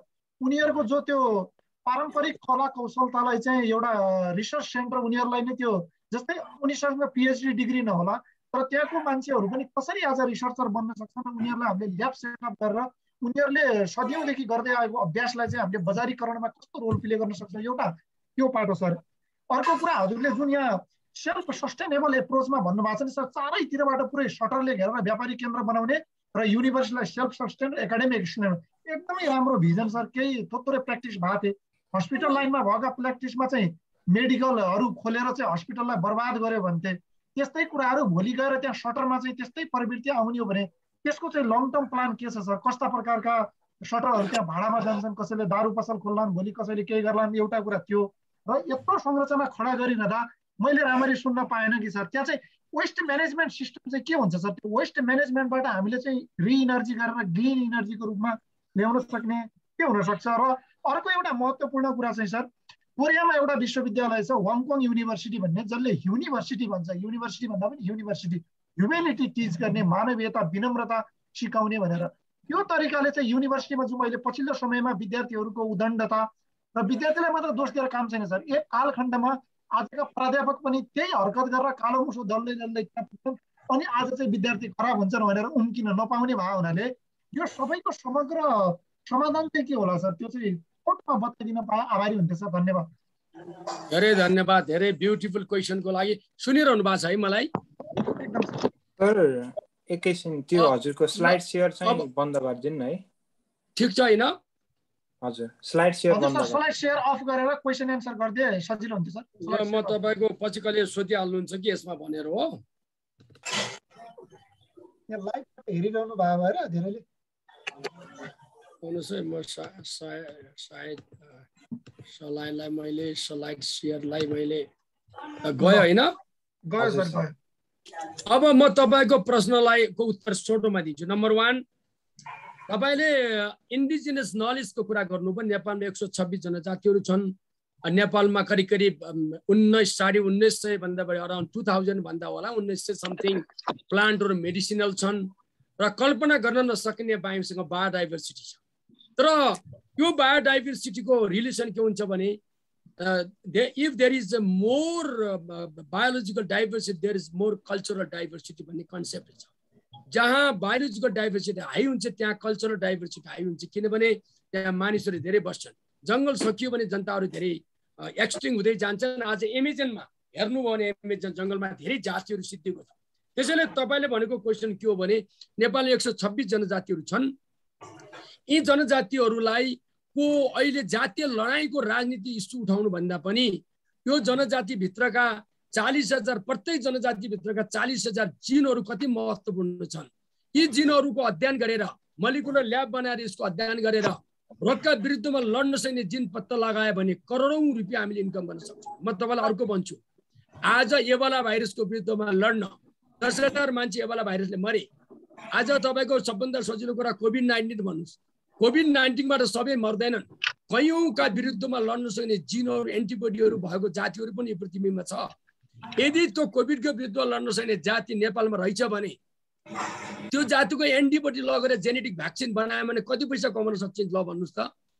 यस कारणले म के भन्छु भने आदिवासीदेखि अहिलेसम्मको दुइटै इन्डिजिनस नलेजलाई मोडर्न नलेजसँग जोडेर यो दुइटै नलेजलाई इन्डिजिनस नलेज र मोडर्न नलेजलाई जोडियो भने इकोनोमिक सस्टेनेबिलिटी डेभलपमेन्टको सस्टेनेबिलिटी रिसर्च र इनोभेसनको नयाँ प्याटेन्ट राय लिन सक्ने ठाउँ भएकोले तपाईँले भनेको कुरालाई ध्यान दिँदै मैले Karnali institute of indigenous knowledge skill and technology खोलेका छु। यस कारणले खोलेको त्यहाँ दसवटा कर्णाली प्रदेशमा भएका दसवटा जिल्लाका दसवटा प्रोफेसनल आदिवासी ग्रुपहरूको स्टडी गर्दैछौँ। एउटा विद्यार्थीले तिनवटा विषयमा स्पेसलाइजेसन गर्यो भने इबास भन्ने डिग्री के अरे एमयु इबास भनेको अब integrated bachelor of arts and design arts and science भन्ने डिग्री दिन्छौँ। यसले उसलाई अत्याधुनिक बनाउँछौँ। अर्कातिर हामीले मलिकुलर ल्याब बनाएका छौँ। त्यो मलिकुलर ल्याबमा मलिकुलर मेडिसिन र molecular medicine in plant molecular medicine in human. दुईवटा ह्युमन जिनोमिक र प्लान्ट जिनोमिकमा हामीले त्यहाँ रिसर्च गर्ने योजना गर्दैछौँ। त्यति मात्र होइन तपाईँले भने जस्तै कर्णालीमा भएको आदिवासी प्लान्टहरू एनिमलहरू आज त्यहाँ एर्चा गुम्बा छ। रिसर्च किन नगर्ने? आज हामीसँग सात सयवटा मेडिसिनल प्लान्ट कर्णालीमा छ त्यो किन नगर्ने? हामीले आज कर्णालीमा तपाईँको छ कस्तुरी छ त्यो कस्तुरीलाई क्लोनिङ गरेर हाम्रा बाख्रा र भेडीमा क्लोनिङ गरेर बाहिर जन्मिँदाखेरि साल नाल आउने भित्र जन्मिँदाखेरि मेल चाहिँ कस्तुरी आउने। भयो भने त्यसले एउटा संसारको नयाँ ध्यान आकर्षण गर्छ। कल्पना गर्नु र इमेजिन गर्नु अपराध हो मैले भने त त्यो अपराधी मैले भन्नु भएन।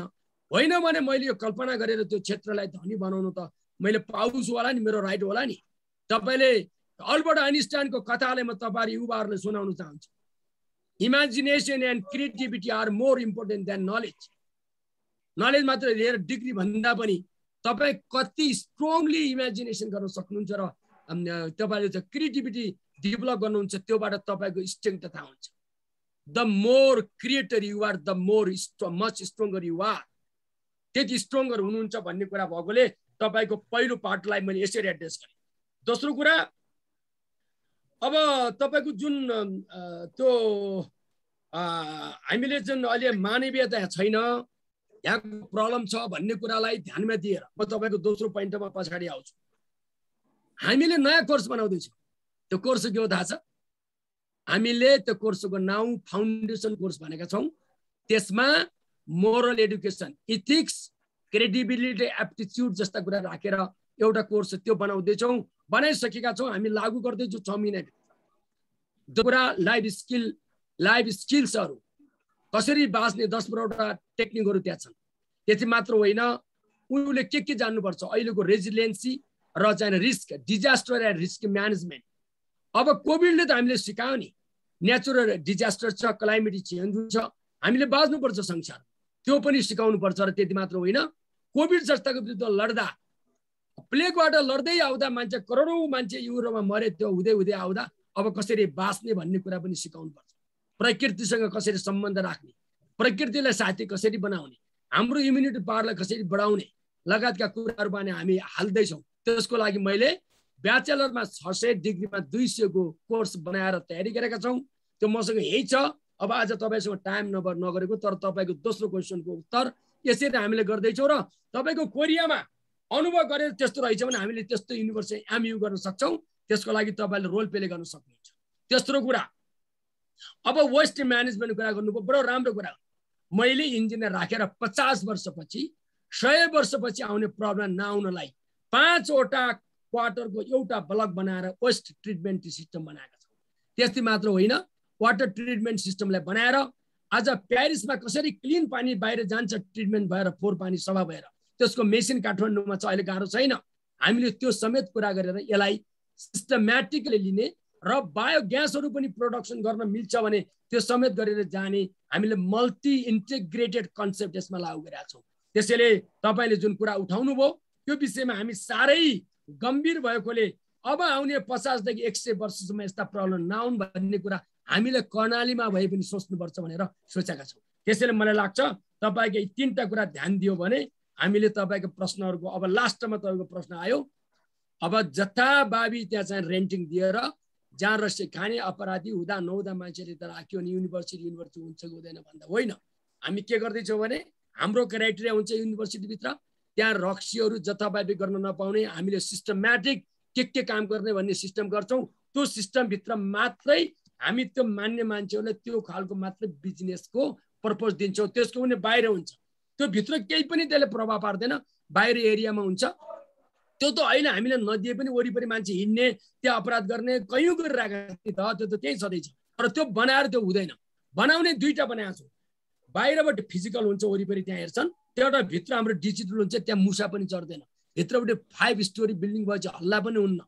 र बाहिरपट्टि र त्यो हुँदाखेरि के हुन्छ भने बाहिरको सानो भागलाई मात्रै प्रयोग गरेर स्मार्ट म्यानेजमेन्ट वर्क भाषा भन्दा इकोनोमिकली बेनिफिट अठाइस करोड रुपियाँ एक वर्षमा आउँछ हाम्रो अहिलेको प्लानिङबाट। अठाइस करोड आयो भने यसले मेरो आरएनडीमा लगाउन सक्छु। अनि टिचर र कर्मचारीहरूलाई मैले इन्सेन्टिभ दिन सक्छु। अहिले मैले भनेको छैन। मेरा कर्मचारीहरू मेरा टिचरहरू टिचरलाई सम्मान नगरी टिचरलाई खाना लाउन पुग्ने पैसा नभई विकास गर्न सकिँदैन। संसारका कुनै पनि विश्वविद्यालय मजासँग खाना पाउन खाना लाउन पुग्ने प्रोफेसरहरूले घरको चिन्ता नगर्दा ल्याबमा चौबिस घन्टा सोह्र सत्र घन्टा बस्न सक्छन्। नेपाल जस्तो एक महिनाको तलबले आधा त महिना नपुग्ने टिचर छोराछोरीको फी तिर्नका लागि ऊ अर्को स्कुलमा धाउनु पर्ने बाध्यता छ। यो बाध्यता अन्त्य गर्नुपर्छ भन्ने मेरो भनाइ छ। त्यसो भएकोले मैले नेपालका प्रोफेसरलाई युनिभर्सिटी पढ्नेलाई at least India at least Pakistan at least उहाँको चाहिँ के अरे भुटानको प्रोफेसनल पाउने लेभलमा पैसा देऊ है सरकार भनिदिन्छु मेरो हाम्रो माग भन्नुहुन्छ भने अहिले भुटानमा तिन लाख रुपियाँ पाइन्छ। तिन लाख रुपियाँ दियो भने हामी चौबिस घन्टा त्यहीँ त्यहीँ सुतेरै त्यहीँ काम गर्छौँ इनोभेसन हामीले पनि गर्न जाने छ। तर त दिनु त पऱ्यो नि। तर अहिले मैले सरकारलाई अर्को माग गरेको छु। एघारवटा युनिभर्सिटी एघार अरब रुपियाँ एक युनिभर्सिटी एक अरब देऊ त देखाउ त। साहसै छैन। एक अरब दियो भने हामी इनोभेसन देखाइदिन्छौँ। पैसा नदिने अनि इन्भेस्ट गर भनेर कहाँबाट गर सरकार हुनुपर्छ हाम्रो पछाडि पब्लिक युनिभर्सिटीमा। यही मेरो माग हो। तपाईँका कुराहरू सायद मैले सबैको उत्तर दिउँ होला। यति भन्दै अरू कसैले चाहिनेमा अरूका प्रश्नहरू छन् भने म रेडी छु। प्लिज गो आए सरले सोध्न सक्नुहुन्छ अब उहाँले हात उठाउनु भएको थियो सुरुमा। श्याम गैरेज्यू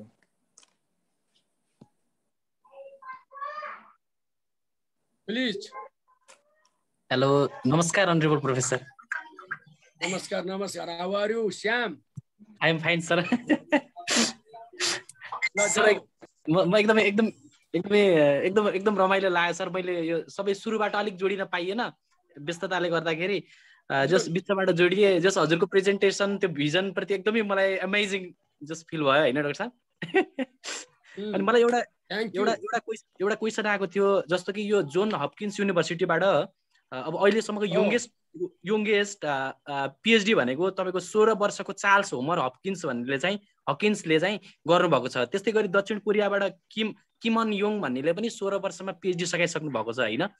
भनिसकेपछि जुन बच्चाहरूले जस्तो कि तपाईँको सोह्र वर्ष भनेको त तपाईँको जुन अब सोह्र वर्ष भनेको त सानै उमेर हो नि त एक हिसाबले। तर यसको लागि जुन हामीसँग पनि बच्चाहरू छन् अब होइन नेपालमा पनि एकदम स्टुडेन्टहरू एकदम ब्रिलियन्ट स्टुडेन्टहरू पनि छन्। र त्यो स्टुडेन्टहरूलाई तपाईँको ग्लोबल सिनारीमा अथवा त्यो चिनाउनुमा हाम्रो जस्तो कि मिडो वेस्टर्न युनिभर्सिटीको के छ प्लान होइन एउटा क्वेसन। अनि अर्को कुरा जस्तो कि तपाईँको जुन रिसर्चमा इन्ट्रेस्टेडहरू छन् जस्तो कि प्लस टू लेभल पछाडि जुन ब्याचलरमै गइसकेपछि पनि जुन एउटा इन्टरडिसिप्लिनरी रिसर्च अहिले जुन ग्लोबल उसमै एकदमै तपाईँको इन्क्रिज भइरहेको छ। यो इन्टरडिसिप्लिनरी रिसर्च मा चाहिँ यो मिड वेस्टर्न युनिभर्सिटीको के छ प्लान भन्ने कुरा चाहिँ म जान्न चाहन्छु प्रोफेसर। तपाईँको लास्टको के भन्नु पर्यो अर्को लास्टको?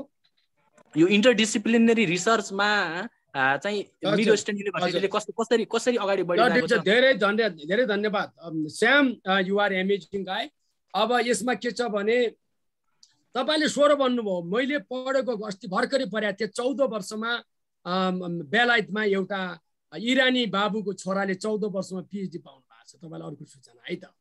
उहाँले चौध वर्ष पाउनुभयो। उहाँको युनिभर्सिटीमा त उमेर कम भएकोले एकाडेमिक काउन्सिलको कानुनले चेन्ज गरेर उसलाई डिग्री दिनु पर्यो उसले तिनवटा पिए मतलब चाहिनेमा के अरे म्याथमेटिकमा हन्ड्रेडमा हन्ड्रेड ल्याउनु कल्पना गर्न नसक्ने। उहाँले दिएका लेक्चरहरू प्रोफेसर भन्दा पिएचडी होल्डर भन्दा हाई लेभलको भएकोले उहाँले पिएचडी दिएको छ। र इतिहासमा चौध वर्ष धेरै यङ मान्छेहरूले पनि त्योभन्दा अगाडिकाले पनि पाएका छन्। त्यसले चौध वर्षको इरानीले पाउनु तपाईँले अहिले सोह्र वर्ष अमेरिकनले र अरूकोले चौध वर्ष साउथ कोरियाले कसले पाउने भन्नुभयो त्यो चाहिँ बडो इन्ट्रेस्टिङ छ। यो एउटा genius gifted naturally gifted children भन्छन् यस्तो हो।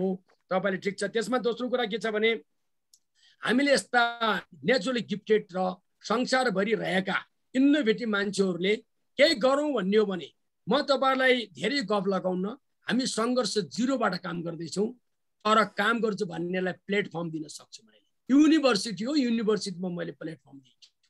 ट्यालेन्टेड मान्छेहरू भिजन भएका मान्छेहरू आएर काम गर्छु भन्छन् भने मैले उनीहरूलाई खानेर बस्ने र काम गर्ने वातावरण दिन सक्छु। मैले यति चाहिँ म जिम्मा लिन सक्छु। र उहाँहरू आउनुभयो भने हामी यसमा सहयोग गर्छौँ। यस्ता युनिभर्सिटी एकाडेमी एक्सिलेन्स गर्न चाहन्छु। सेकेन्ड पोइन्ट अहिलेको युग भनेको अब इन्टरडिसिप्लिनरी सिस्टमको कुनै बेला अल्ट्रा साइन्स आयो रिडक्सनिस्ट अप्रोच आयो। रिडक्सनिस्ट अप्रोच भनेको के हो भने स्याम एउटा शरीरमा हाम्रा आठवटा अङ्ग छन् एउटा अङ्गले अध्ययन गर्यो भने एउटा अङ्गले सबै काम हुन्छ भन्ने दिन आयो। त्यसलाई रिडक्सनिस्ट एप्रोच भन्छ। यसलाई पश्चिमाहरूको एप्रोच पनि भन्छ। पूर्वीहरूको एप्रोच अघि जो आयो हाम्रो दीर्घजीले भनेको त्यो होलिस्टिक एप्रोच हो।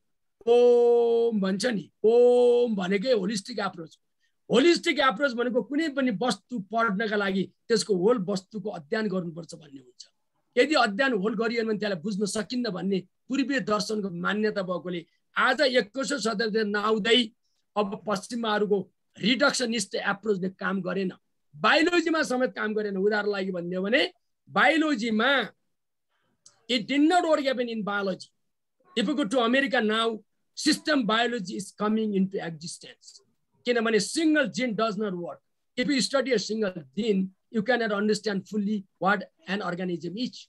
If you study the system biology or 40,000 genes at one time, you can really understand what the real biology of that organism is. त्यस्तो भएकोले तपाईँको कुरा के हो भने अब इन्टरडिसिप्लिनरी र होलिस्टिक सिस्टममा संसार जाने बेला भएको छ तपाईँले भनेको कुरा राइट छ हामी इन्टरडिसिप्लिनरी सिस्टमको सहयोग गर्नको लागि मैले अघि जुन आरएनडी ल्याब बनाएँ नि एकातिर नेचुरल साइन्स अर्कोतिर सोसल साइन्स त्यो इन्टरडिसिप्लिनरको बेस्ट एक्जाम्पल हो त्यो अहिलेको संसारमा कुनै युनिभर्सिटी यस्तो आरएनडी सेन्टर छैन जहाँ दुइटै नेचुरल साइन्स र सोसल साइन्स एउटा आरएनडी सेन्टरभित्र आएको मैले देखेको छैन त्यसैले मैले यो नयाँ सुरुवात गरौँ भनेर गरेको छु तपाईँले उठाएको प्रश्नको उत्तर त्यहीबाट आउँछ भन्ने मलाई लाग्छ please go ahead thank you thank you professor धन्यवाद सर. यहाँ सिमिलर उहाँले सोधे जस्तै सिमिलर आरएनडी अनि इन्टर युनिभर्सिटी कोलाबोरेसन विदेशी विद्यार्थीहरूलाई नेपाल ल्याउन के सकिएला कस्तो प्रयास गर्न सकिएला भन्ने सोध्नु भएको थियो। सायद सरले ल ठिक छ मैले हेरेँ। त्यो मैले हेर्दै थिएँ त उहाँको एन्सर एकदम राम्रो छ। मैले अहिले पच्चिसजना। मैले धेरै गर्न सक्दिनँ तर जति गर्छु मैले त्यो बनाएर। मैले पच्चिसजनालाई ल्याउनलाई रिसोर्सहरू र उहाँहरूलाई सम्मान दिएको छु। मध्यपश्चिम विश्वविद्यालय उहाँहरू फ्यामिली हुनुहुन्छ। उहाँहरू पच्चिसजना संसारका टप युनिभर्सिटी पढाउने पिएचडी पोस्ट गर्ने मान्छेले ल्याइयो भने उहाँहरूले के गर्नुहुन्छ हामीलाई थाहा छ? एउटा उहाँहरूको नलेज आउँछ दोस्रो टेक्नोलोजी आउँछ तेस्रो उहाँहरूसँगको ज्ञान आउँछ चौथो उहाँहरूको अन्तर्राष्ट्रिय कनेक्टिभिटी आउँछ पाँचौँ हामीसँग प्रोजेक्टहरू आउँछ। हामी ती मान्छेहरूलाई लियो भने हामीले हाम्रो विश्वविद्यालय अगाडि बढाउँछौँ। हामी इन्डस्ट्रियलाइजेसन गर्छौँ। हामी चाहिनेमा इन्डस्ट्रियल क्लस्टरहरू सेटअप गर्छौँ। हामी त्योभन्दा माथि गएर के गर्छौँ भने हामीले कर्णाली प्रदेशमा चाहिने हामी के को फार्मास्युटिकल कम्पनी वा मेडिकल वा एग्रिकल्चरका इन्डस्ट्री सुरु गर्छौँ र त्यसमा हामीले united nation international industrial organisation unit involve गरेर हाम्रा कुराहरूलाई छिटोभन्दा छिटो लागू गर्छौँ। त्यो गर्नका लागि उहाँहरू जस्ता मान्छे आइदिनु भयो भने मैले यसपल्ट पच्चिसजना ल्याउँदैछु। अब नेक्स्ट इयरमा अलिकति पैसा भने फेरि मैले अरू बिस चालिसजना ल्याउँछु। मेरो हाम्रो प्रयास हो। यही प्रयास नेपालका एघार विश्वविद्यालयले गरिदियो भने नेपालका अरू विश्वविद्यालयले गरिदियो भने हामी सयौँ हजारौँ नेपालका पिएचडी र पोस्टडक हाम्रा दाजुभाइ दिदीबहिनी जो विदेशमा छन् आफ्नो देशमा आएर सम्मानजनक काम गर्न सकुन् भन्ने मेरो भनाइ आज होस् या भोलि पाँच वर्ष हो या दस वर्ष भएन भने पनि तिस वर्ष होस् बिस वर्ष हो तिस वर्ष एक दिन न एक दिन नेपाली ब्रेनलाई विदेशमा राखियो भने नेपालको विकास हुन्न भन्ने कुरा जुन दिनसम्म नेपालका राजनीतिक दल र नेपालका शिक्षा क्षेत्रमा काम गरेर बुझ्दैनन् त्यहाँसम्म केही हुनेवाला छैन। पैसा दिनु पर्दैन। उहाँहरूलाई जब दिएर बसाल्यो भने उनीहरूले आफैले कमाएर खान्छ। त्यति सोचिदियो हुन्छ नेपालका राजनीतिक दलहरूले र नेपाल सरकारले। मेरो आग्रह यति त्यसैले म के मेरो आफ्नो ठाउँबाट मैले सुरु गरेँ यसबाट बिस पच्चिसजना ल्याउन। अर्कोबाट पनि मैले ल्याउँछु लगातार ल्याउँछु त्यति मात्र होइन। कोही म मलाई प्लेटफर्म छैन म काम गर्न चाहन्छु भन्ने कोही मान्छे हुनुहुन्छ भने मेरो नम्बर छ। मेरो nine eight five one one five five seven seven five. तपाईँ विदेशबाट प्लस नाइन सेभेन सेभेन जोडेर कसैले पनि you can call me. You are welcome to मिडोस university. म तपाईँहरूलाई खानेर बस्ने दिन्छु। तपाईँहरूलाई प्रोजेक्ट लेख्न पनि इन्सपायर गर्छु त्यसको इन्डोर्स पनि म गरिदिन्छु। पैसा आउनलाई गाह्रो छैन। Big money is not big thing creative तपाईँको ऊर्जा भयो भने त्यो ऊर्जाले हामीले हाम्रो देश बनाउन सक्छौँ। त्यसैले तपाईँले जुन भन्नुभएको छ हामी inter university collaboration inter university चाहिँ अन्डरस्ट्यान्डिङ रिसर्च एक्सचेन्जहरू गर्दैछौँ। अहिले साउथ कोरियाको च्याङ्गो नेसनल युनिभर्सिटी हामीले अस्ति निट्स एडुकेसनसँग सम्झौता गरेका छौँ। हामीले नर्वेसँग गरेका छौँ बास्क युनिभर्सिटी स्पेनसँग गरेका छौँ चिनका दुई तिनवटा गरेका छौँ। अब जापानमा गर्दैछौँ हामी इन्डियामा अमेरिकामा हामीसँग ल धेरै ठाउँमा हामी गर्दैछौँ र हामी छ महिनामा राम्रो यस्तो खालको गर्छौँ। तर तपाईँहरू जो जसले चाहनुहुन्छ तपाईँहरूले इमेल पठाउन सक्नुहुन्छ आउन सक्नुहुन्छ देशको विकास गरौँ। म पनि बाहिरै थिएँ तर मैले पिएचडी गरेपछि कालीकोटमा जन्मेकोले त्यत्रो दुःखमा जन्मेर दुःखमा हुर्केको मान्छे पिएचडी गरेपछि त्योभन्दा पछि के दुःख होला भनेर देशमा आएको म त है त्यसैले म देशमै छु दुःख गरेका छु। तपाईँहरू पनि पढ्नुहोस् विदेशमा जाने कुरा गल्ती होइन। जानुहोस् सिक्नुहोस् म पनि गएको हुँ तर देशमा आउँ सँगै काम गरौँ देश बनाऊ। मेरो भनाइ धन्यवाद सर। म अरू यस पछाडि प्रश्न अरूका प्रश्नहरू उहाँहरू दुईजना साथीहरूले हात उठाउनु भएको छ। यहाँ केही प्रश्नहरू चाहिँ मलाई पर्सनल्ली मेसेज गरेर आजको इन्टरनेट गडबडीका कारणले जोडिन नसकेकाहरूले गर्नुभएको छ। एउटा चाहिँ सर यो विदेशी विद्यार्थीहरू जुन रिसर्च सेन्टरहरूमा चाहिँ विदेशी विद्यार्थी हायर स्टडीका लागि आउने तर हाम्रो प्लस टू लेभलकै ब्याचलर लेभलमा पनि चाइना र इन्डिया यत्र धेरै पपुलेसन भएका देशको बिचको नेपाल छ अस्ट्रेलिया जस्ता विभिन्न देशहरूले चाहिँ यो एजुकेसन सेक्टरलाई नै बिजनेस हब बनाएर उनीहरूले विदेशी विद्यार्थी त्यत्रो पैसा ल्याउन सक्छन् भने त्यत्र दुई देश बिचमा छौँ हामी हाम्रो युनिभर्सिटीमा चाहिँ लगभग फिफ्टी पर्सेन्ट चाहिँ विदेशी विद्यार्थीहरू इनरोल गरेर पैसा पनि आउने र हाम्रो नलेज स्किल अन्य कुरा र भाषा पनि ट्रान्सफर हुने। त्यसको लागि के गर्न सकिएला र त्यसमा एउटा इक्जाम्पल के दिनुभएको छ कोरियाका मान्छेहरू फिलिपिन्स जान्छन् अलिकति सस्तो हुन्छ भनेर इङ्ग्लिस पढ्न भने नेपालमै पनि त कैयौँ इङ्ग्लिस पढाउने सेन्टरहरू खोल्न सके नेपाल पनि आउँथ्यो होला अरू मुलुकहरू अलिक सस्तोमा पढ्न भन्ने छ। र एउटा अर्को चाहिँ लास्टमा यो भिसीको नियुक्ति र जुन तपाईँले अघि जोड्नु भयो नि सर यो विभिन्न ओपन कम्पिटिसनबाट डिनहरू क्याम्पस प्रमुखहरू नियुक्ति गरेको एकदमै सराहनीय कुरा तर भिसीहरूको विदेशमा जुन नियुक्ति छ सर त्यहीँकै प्रोफेसरहरूले भोटिङ गरेर युनिभर्सिटी भित्रैबाट जुन सेलेक्सन प्रोसेस हुन्छ त्यो नेपालमा लागू हुनका लागि के प्रयत्न गर्न सकिएला भन्ने जोड्नु भएको छ। यति नै हो। त्यस पछाडि हामी अन्य सहभागीका क्वेसनहरू लिने ल तपाईँको दुईवटा क्वेसनमा मैले पहिलो क्वेसनको उत्तर दिएँ। नम्बर वान विदेशी विद्यार्थी एट्र्याक्सन गर्ने योजना के छ? म युनिभर्सिटी हुँ तर यो सरकारले सोध्नुपर्ने क्वेसन हो। तर म युनिभर्सिटीको भाइस चान्सलर लाताले म यसको उत्तर दिन चाहन्छु। तपाईँको प्रश्न अत्यन्त इम्पोर्टेन्ट छ। तपाईँको प्रश्नको पछाडि मिनिङ छ। किनभने हामी we are sandwiched between China and India but we have we have at the same time we have a lot of opportunities to attract large number large chunk of the students from India and China as well तर यसको लागि के गर्नुपर्छ? तपाईँले मुखले भनेर हुन्न। मैले अघि तपाईँलाई भने नि पाँचवटा चिज चाहिन्छ। तपाईँको एकाडेमिक एक्सलेन्स भएको युनिभर्सिटी हुनु पऱ्यो मान्छे एट्र्याक्सन हुनलाई। नम्बर टू इकोनोमिक ग्रोथ भएर ओहो त्यहाँ जब छ है मलाई त्यहाँ चाहिँ पढ्न पनि पाइन्छ जब पनि पाइन्छ अट्र्याक्सन हुनु पऱ्यो तेस्रो विदेशी प्रोफेसर र विदेशी विद्यार्थी प्रशस्त भएको हुनु पऱ्यो उनीहरूले अट्र्याक्सन पर्छ तपाईँको course of study local need nationally र इन्टरनेसनल निडलाई एड्रेस गर्ने कोर्स अफ स्टडी हुनु पऱ्यो यसलाई मैले market event course of study भन्छु। त्यो हुनु पऱ्यो more than that you need infrastructure development is the fabulous infrastructure development भयो भने तपाईँको अगाडि अनि को विद्यार्थीले ल्याउन सक्दैन? त्यो पाँचवटा मेरो अहिले प्लान हो मैले अघि पेस गरेँ तपाईँहरूलाई। त्यो पाँचवटा चिज गरेँ भने अनि विद्यार्थीहरू हाम्रो कोर्स विचार नेपाल पढ्न आउँछन्। आएपछि ट्राइज गर्छु। नम्बर वान मैले मेरो कुरा गरेँ। सरकारको कुरा पछि गरौँ दोस्रो कुरा तपाईँले भनेको कुरा र मेरो कुरा कसरी मिल्यो छ? तपाईँले त कपानमा कहिले काहीँ भन्नुभएको थिएन। तपाईँको कुरालाई मैले के सुने भने मैले एउटा यस्तो सेन्टर बनाउँदैछु घोषणा गर्दैछु तयारी भइसक्यो त्यसको नाउँ भनिदिन्छु। Cosmopolitan MU centre for cosmopolitan language study and training consultancy training centre training भनेको हाम्रो एडुकेसन सिस्टमको ट्रेनिङ हो। कसैलाई ट्रेनिङ बाहिर बजारमा भयो जस्तो होइन यो फरक छ। त्यो गरेर कस्मोपोलिटन ल्याङ्ग्वेजहरू अहिले हामी बाह्रवटा ल्याङ्ग्वेज सिकाउनु सुरु गर्दैछौँ मध्यपश्चिमा विश्वविद्यालयमा. Within next two weeks I will inaugurate that centre तपाईँलाई मैले यति पनि भने टाइम पनि दिएँ। दुई हप्ता ढाई हप्ताको बिचमा हामी त्यसलाई उद्घाटन गर्दैछौँ। अत्याधुनिक बनाउँदैछौँ। त्यसमा कोरियाबाट दुईजना प्रोफेसरहरू सुर्खेतमा आइसक्नु भएको छ। उहाँले कोरियन भाषा सुरु गर्नुहुन्छ। अङ्ग्रेजी भाषा सुरु गर्छौँ। हामीले युएनका छवटा भाषा सुरु गर्छौँ। त्यसपछि पूर्वीय दर्शनका संस्कृत भाषा सुरु गर्छौँ। त्यसपछि हामीले ग्रिक र रोमन ल्याङ्ग्वेज सुरु गर्छौँ अनि हामीले चाइनिज कोरियन र जर्मन पनि सुरु गर्छौँ जापानिज पनि सुरु गर्छौँ। यति ल्याङ्ग्वेज गर्दै अनि हाम्रो विषयहरू के के हुन् पढाउने जुन पढाउने विषय कति इम्पोर्टेन्ट छ भनेर ग्लोबल लेभलमा जानकारी दिन्छौँ र ट्रेनिङ दिन्छौँ। त्यस्तो ट्रेनिङ अर्को ट्रेनिङ होइन हाम्रो पढाउने विषयको ट्रेनिङ। हामीले उनीहरूलाई कन्सल्टेन्सी दिन्छौँ। त्यसो भयो भने तपाईँले भनेको कुराको अट्र्याक्सन हुन्छन् होला र अघि मैले हेल्थको टुरिज्म भनेर जुन मैले एउटा हस्पिटल कन्सेप्ट गरेँ अहिले संसारको हस्पिटल एउटै हुन्छ। जति ठुला बिल्डिङ भएपछि एलोपेथिक हस्पिटल हो कि होइन भन्नु त? तर मैले नयाँ तरिकाले डिजाइन गरेको छु।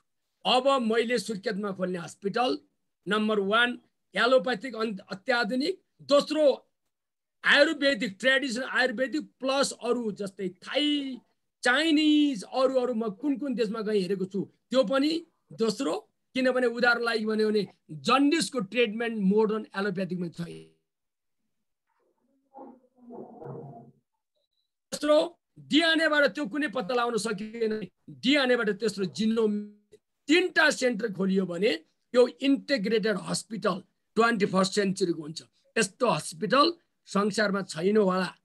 कल्पना मैले गरेको म मिस्टेक हुनसक्छु। करेक्सन गर्नु होला तपाईँहरू ग्लोबली पढिरहनु भएको साथी। कुनै देशमा यस्तो हस्पिटल छ भने मलाई भनिदिनु होला।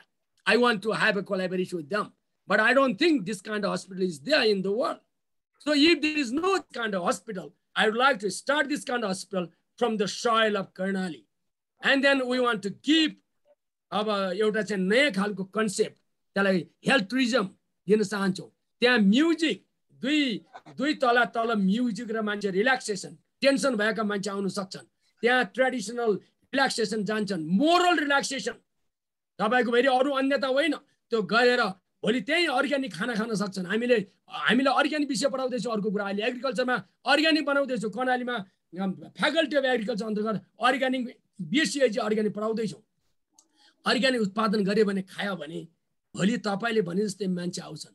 धेरै पैसा भएका दुई तिन हप्ता आराम गरेर पैसा खर्च गरेर नपाएका कहीँ छन् संसारमा। तिनीहरूलाई तान्ने त तपाईँसँग केही न केही हुनु त पऱ्यो नि। केही पनि छैन भने त्यत्तिकै आइज भनेर त आउँदैन नि। हो पहिले तान्ने तपाईँले विषयवस्तु बनाउनुहोस्। त्यो कुराको युनिभर्सिटीले त्यसको सुरुवात गरोस्। एउटै युनिभर्सिटीले गर्न सक्दैन भने सरकारले पनि गरिदियोस्। सरकार हुनुपर्छ त्यहाँ पछाडि।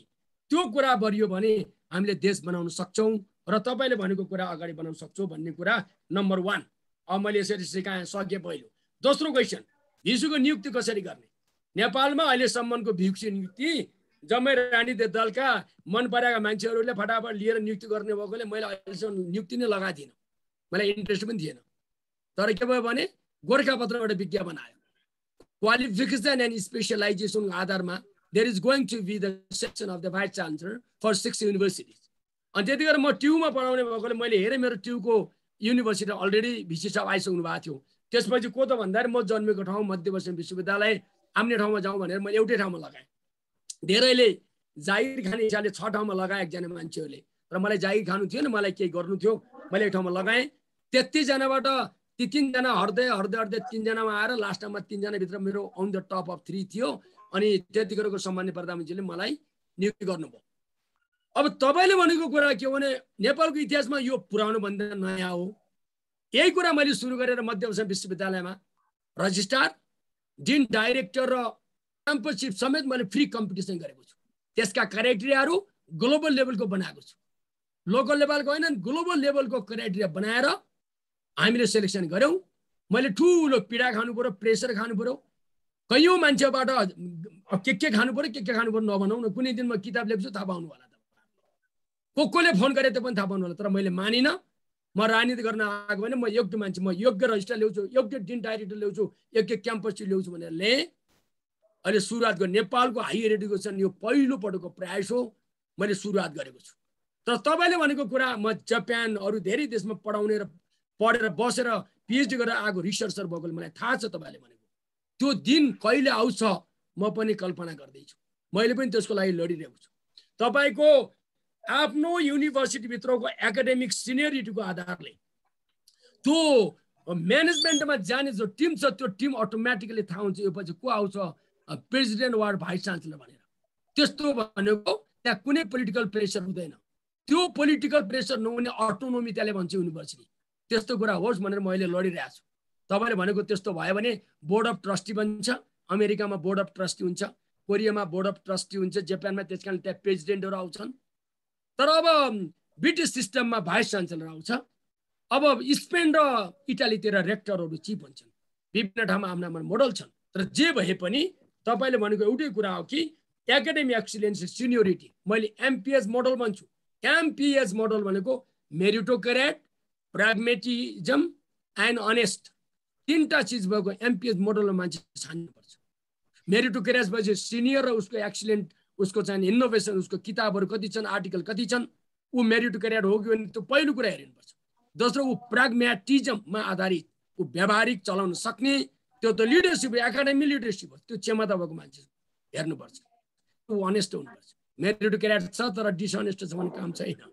त्यसो भएर एकाडेमिक छ अनेस्ट इज भेरी इम्पोर्टेन्ट यी तिनवटा कुरा भयो भने तपाईँले भने जस्तो हुन्छ अहिले तत्कालै भएन भने पनि पशुपतिनाथलाई तपाईँहरू कहाँ कहाँ हुनुहुन्छ त्यहाँको देउतालाई एकचोटि हात जोडेर नमस्कार गरौँ।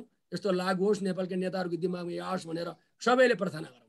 र यदि प्रार्थना गरियो भने नेपालका एघारवटा युनिभर्सिटी छवटा एकाडेमी र अरू ठाउँमा यस्ता मान्छे आउँथे कि मैले मेरो कल्पना हो। म त लडिरहेको छु तर त्यो नेपालको राजनीतिक दल र नेताहरूको दिमागमा यो आउनुपर्छ। दुईवटा कुरा आउनुपर्छ। एउटा इन्डिपेन्डेन्ट जाने लिडरसिप एकाडेमी आउनुपर्छ। दोस्रो उसलाई खाना लाउन प्रशस्त पैसा आउनुपर्छ तेस्रो तिमीहरू बाहिर जान पाउनु चौबिस घन्टा युनिभर्सिटी बस हामी पैसा दिन्छौँ भनेपछि नाइ जो जसले भन्छ तिनीहरूलाई जबबाट निकालिदियो हुन्छ। अनि त विश्वविद्यालय बन्ला नि। तपाईँ यसो गर्नु नभने त कसरी विश्वविद्यालय बन्छ? तपाईँहरू असन्तुष्टि व्यक्त गर्दै विदेश बस्ने म एक्लै यहाँ लड्दै अनि देशमा परिवर्तन हुन गाह्रो हुन्छ। तब हामी सबै लागौँ र यस्तो कुरा ल्याउनुपर्छ भन्ने मेरो मान्यता। धन्यवाद। धन्यवाद सर? अब हामी यहाँ प्रश्नका लागि वीरेन्द्र नारायण शाहजीलाई जोड्न चाहन्छु। वीरेन्द्रजी हजुर सोध्न सक्नुहुन्छ। त्यस पछाडि हामी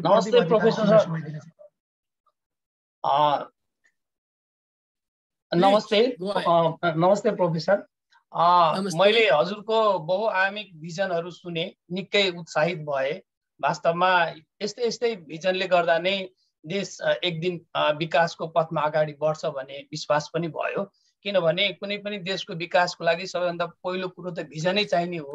र भिजन पनि तपाईँको जुन एउटा बहुआयामिक रूपमा आएको छ त्यसले गर्दा हामी पनि निकै उत्साहित भएका छौँ। खासमा मैले क्वेसन सोध्नुभन्दा पनि मेरो क्वेसनको आन्सर त आइ नै सक्यो। म सुरुमै हात उठाएको थिएँ। बिचमा साथीहरूले क्वेसन राख्दा मेरो क्वेसन पनि त्योसँगै आएकोले त्यसमा थप क्वेसन त गर्न चाहिन तर एउटा जिज्ञासा र सँगै एउटा के थप्न चाहे भन्दाखेरि जस्तो युनिभर्सिटी अब नेपालमा चाहिँ हाम्रो पहिलो युनिभर्सिटी होइन योभन्दा अगाडि टियु पियु केयु जस्ता युनिभर्सिटीहरू छँदैछन्। तिनीहरूले पनि आफ्नो अब्जेक्टिभ्सहरू लिटिल बिट यो सँगसँगै यस्तै यस्तै नै हामी सुन्छौँ सुन्न पाउ सुन्न पाउँछौँ। अब त्यो चाहिँ व्यवहारिक रूपमा उहाँहरूले कति गर्न सक्नुभयो गर्नु सक्नु भएन। तर मेरो आफ्नो व्यक्तिगत कुरा चाहिँ के हो भन्दाखेरि विद्यार्थी एउटा एउटा विद्यार्थी जब चाहिँ ग्रेजुएसन भएको अर्को दिनदेखि जुनसुकै संस्थामा गएर जुनसुकै मल्टिनेसनल कम्पनीमा गएर म काम गर्न सक्छु भन्ने एउटा आँट र विश्वास छ भने चाहिँ त्यो विद्यार्थीलाई चाहिँ हामीले चाहिँ एउटा क्वालिटी प्रोडक्ट भन्न भनेर चाहिँ बुझ्न सक्छौँ। होइन भने चाहिँ हामीले थ्योरिटिकल नलेज दियौँ उसले हामी ग्रेजुएसन गरायौँ तर त्यो विद्यार्थीले चाहिँ कुनै पनि अर्गनाइजेसनमा गएर एउटा कन्फिडेन्टका साथ काम गर्न सक्न सक्ने इन्भाइरोमेन्ट दिएनौँ भने त्यो एउटा चाहिँ एकाडेमिक रूपमा चाहिँ उसँग सर्टिफिकेट हुन्छ। तर काम गर्ने क्षमता हुँदैन। त्यसैले हाम्रो यहाँ मैले राख्न खोजेको कुरो चाहिँ मिड वेस्टर्न युनिभर्सिटीले चाहिँ त्यस्तो के लर्निङ र टिचिङको प्रोभिजन गर्दैछन् जसबाट चाहिँ विद्यार्थी ग्रेजुएसन भएको अर्को दिनदेखि चाहिँ आफ्नो सेक्टरमा हो।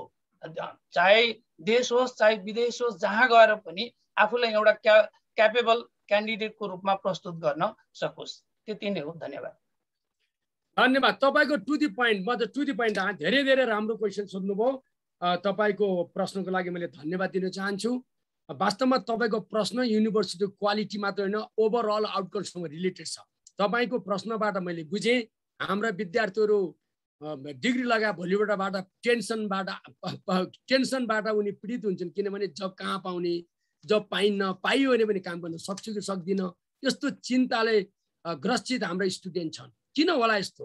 कारण के हो भन्दा अरू देशका विद्यार्थीहरू प्रोडक्सन हुँदा दोस्रो दिनबाट इन्डस्ट्रीहरूमा अथवा विभिन्न अर्गनाइजेसन गरेर उनीहरू आफ्नो विषयमा काम गर्छन्। आइटीको एक्सपर्टले आइटीको क्षेत्रमा बिजनेसको व्यक्तिले बिजनेसको क्षेत्रमा इन्जिनियरले इन्जिनियरिङको क्षेत्रमा तपाईँको चाहिनेमा साइन्स र मेडिकलले मेडिकल क्षेत्र अरू ठाउँमा एक्सलेन्ट हुन्छन्। तर हाम्रा विद्यार्थी किन हुनन् भन्दा तपाईँले भनेको क्वेसनको उत्तर म दिउँ।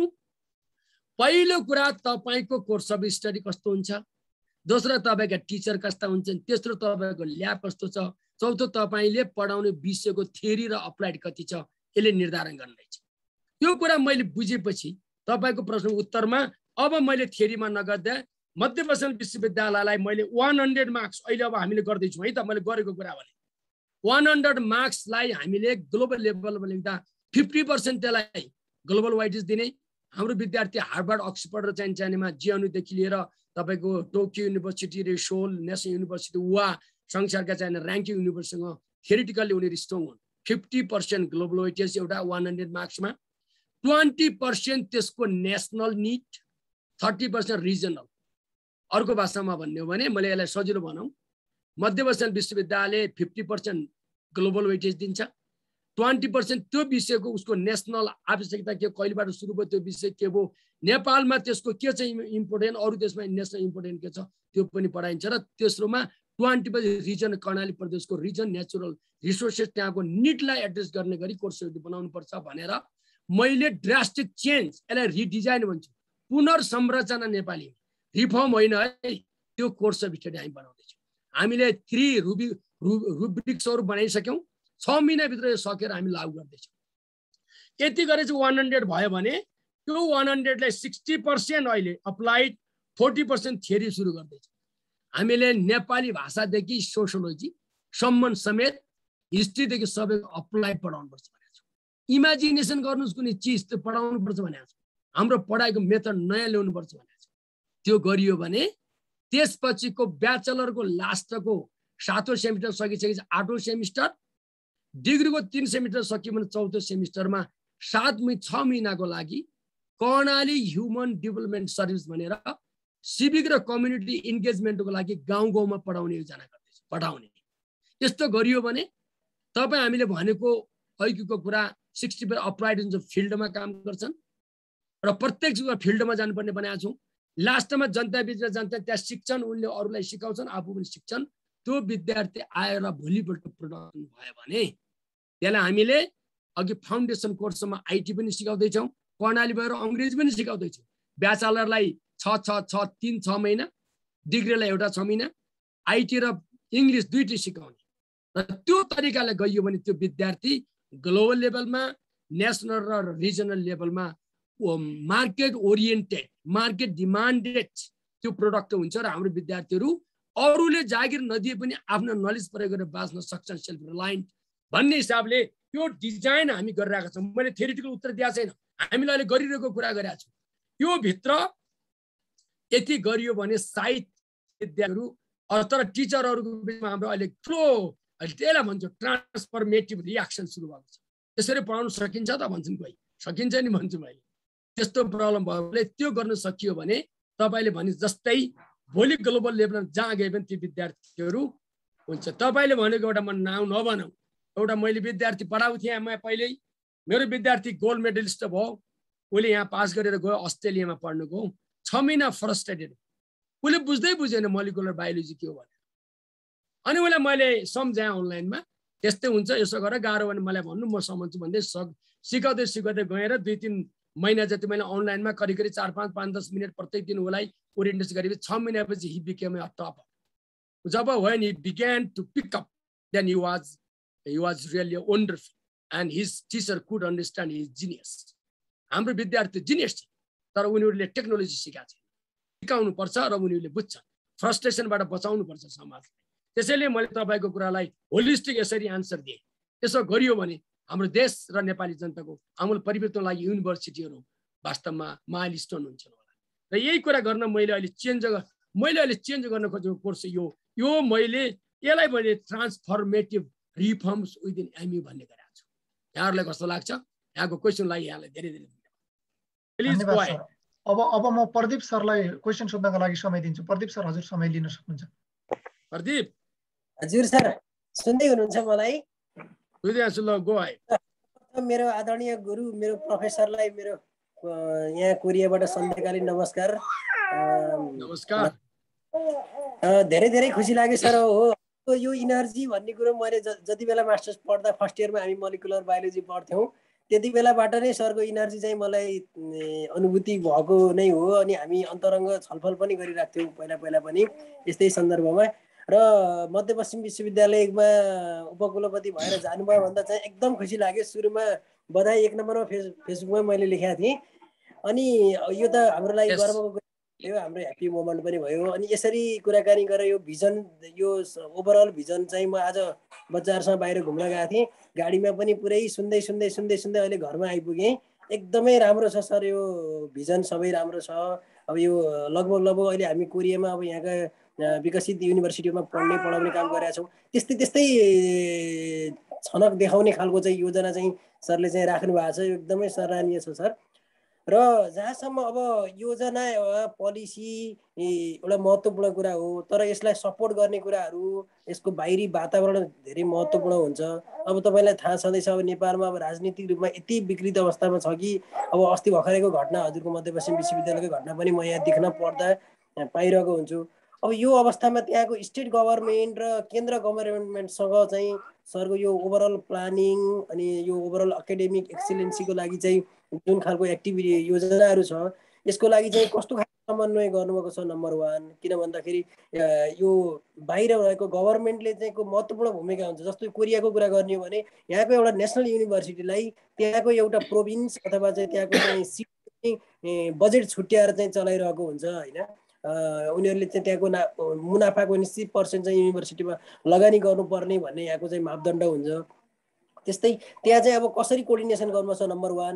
नम्बर टू चाहिँ जुन अब हाम्रो त्रिभुवन युनिभर्सिटी अन्य युनिभर्सिटीहरूमा अहिलेसम्मको प्रावधान भनेको नयाँ लिखित परीक्षामा पास भएर इन्टरभ्यू फेस गरेर अनि बल्ल प्रोफेसरहरू इन्ट्री हुन पाउने चाहिँ खालको प्रावधान छ। अब यसमा चाहिँ मेरो सुझाव पनि भनौँ अथवा चाहिँ सरले सुरुवात पनि गर्नुभएको छ। सकेसम्म बाहिरबाट चाहिँ यो पिएचडी गरेकोहरूलाई मिनिमम क्राइटेरिया पिएचडी गरेको र उनीहरूको एउटा विषय विज्ञता हेरेर पिएचडी पिएचडीको बिचमा मात्रै ओपन कम्पिटिसन गराएर उनीहरूको पब्लिकेसन्स उनीहरूको चाहिँ रिसर्च होइन यो कुराहरूलाई गराएर चाहिँ नयाँ मेन पावरहरू इन्ट्री गर्ने खालको चाहिँ पोलिसी कसरी बनाउनु भएको छ यिनै दुईवटा क्वेसन राखेँ सर अरू चाहिँ एकदमै मेरो मैले राख्न चाहेको क्वेसनहरूको एन्सर अघि नै आइसकेको छ। धेरै धेरै खुसी लाग्यो। धेरै धेरै धन्यवाद sir. Thank you thank you thank you Pradeep अब तिम्रो बायोलोजी मलिकुलर बायोलोजी पढ्नका दिनदेखिको इनर्जी बोलाएर हिँड्छु ठिक छ अब दुईवटा कुरा प्लान र पोलिसीलाई सपोर्ट भएन भने प्लान र पोलिसी मेटेरियलाइज हुन्न भन्ने कुरा सत्य हो र यसलाई नै ध्यान दिएर मैले मैले जुन योजना बनाएको छु जसको लागि सपोर्ट चाहिने हो पैसा सबभन्दा पहिले हामीलाई पैसा चाहिन्छ भिजन चाहियो भिजनले पैसा त ल्याउँछन् है तर भिजन बिना नै पैसा आउँदैन पहिले भिजन चाहियो आइडिया चाहिन्छ आइडियाले पैसा ल्याउने हो। त्यो आइडिया भइसकेपछि त्यसको लागि भिजनको लागि पनि मैले धेरै ठाउँमा सुरु गरेको छु। I am not worried about money भने आउँछ होला। तर प्रश्न के हो भने म चार वर्षको लागि मात्रै छु। अब म त्यहाँ गएको बेलादेखि अब एउटा हिजो जुन कल्चरमा विश्वविद्यालय हुर्किएको थियो त्यो कल्चरबाट मैले नयाँ कल्चरमा लिँदा धेरै मान्छेहरूलाई त्यो स्वीकार्य भएन। नहुँदाखेरि अब आक्रमण गर्ने नचाहिँदो कुरा गर्ने देख्नु भएको छ तपाईँ। जीवित मान्छेहरूलाई भाइस चान्सलर बित्यो भनेर घोषणा गर्ने त्यस्तो खालको तपाईँको कल्चरमा हुर्किएको मान्छेहरूले विश्वविद्यालयको एकैचौँ शताब्दीको विश्वविद्यालय बनाउँछु बनाउँदैनन् बुझ्नु आवश्यक छ। म त्यस्ता भाइ बहिनीहरू त्यस्ता टिचरहरू जसले यस्तो काममा केही मान्छेहरू लागे तिनीहरूले आफूलाई सुधार्न आवश्यक छ मैले त्यही भन्छु। यदि सुध्रिएन भने त्यस्ता मान्छेबाट बिस वर्ष तिस वर्षपछि त्यो क्षेत्रले के आशा गर्छ? हामी यति मात्रै भनौँ सुधार्ने आशा गरौँ। र दोस्रो कुरा के छ भने मैले प्रदेश सरकार मैले स्थानीय गाउँपालिका र नगरपालिका त्यहाँको र केन्द्रीय सरकारसँग कोर्डिनेसन गरेको छु र हामीले प्रदेश सरकारसँग पाँचजनालाई प्रति वर्ष एक एक लाख रुपियाँ दिने पाँच लाखको जर्नालिजमको सम्झौता गरेका छौँ। अहिले सुर्खेत नगरपालिकासँगको मेयर साहबसँग कुरा गरेर मेयर उपमेयरसँग करिब करिब उहाँहरूले पचास लाखभन्दा बढी दिने र त्यसबाट एउटा वडाबाट एकजना लेडिजलाई बिए एलएलबी पढाउने उहाँको सम्झौता गर्दैछौँ। यस्ता धेरै सम्झौताहरू गर्दैछौँ र योभन्दा पहिले पनि मैले प्रदेश सरकारसँग कुरा गरेर दस करोड रुपियाँ घोषणा गर्नुभएको थियो। तिन करोड मलिकुलर ल्याब र सात करोड भौतिक संरचना भनेर। तर यो सालमा फेरि त्यो के अरे पैसा उहाँले काटिदिनु भयो म अब फेरि पनि चिफ मिनिस्टर लगायतको मन्त्रीहरूसँग कुरा गर्छु किन काट्नुभयो? म कुरा गर्छु यो पोलिटिकल तपाईँले भने जस्तो तरिकाले नहोस् भन्ने मेरो चाहना हो। केन्द्रीय सरकारसँग पनि हामी कुरा गर्छौँ। तर मेरो हाम्रो धारणा के हो भने कसैले कसैले त सुरु गर्नुपर्छ होला नि प्रदीप अब कसैले कसैले देशको परिवर्तन विषय सोच्नुपर्छ होला विश्वविद्यालय परिवर्तन विषय सोच्नुपर्छ होला। हुन्न भनेर निराश गर्यो भने त कसले गर्छ त? कसैले गर्दैन नि। त्यसैले निराश हुनुहुन्न।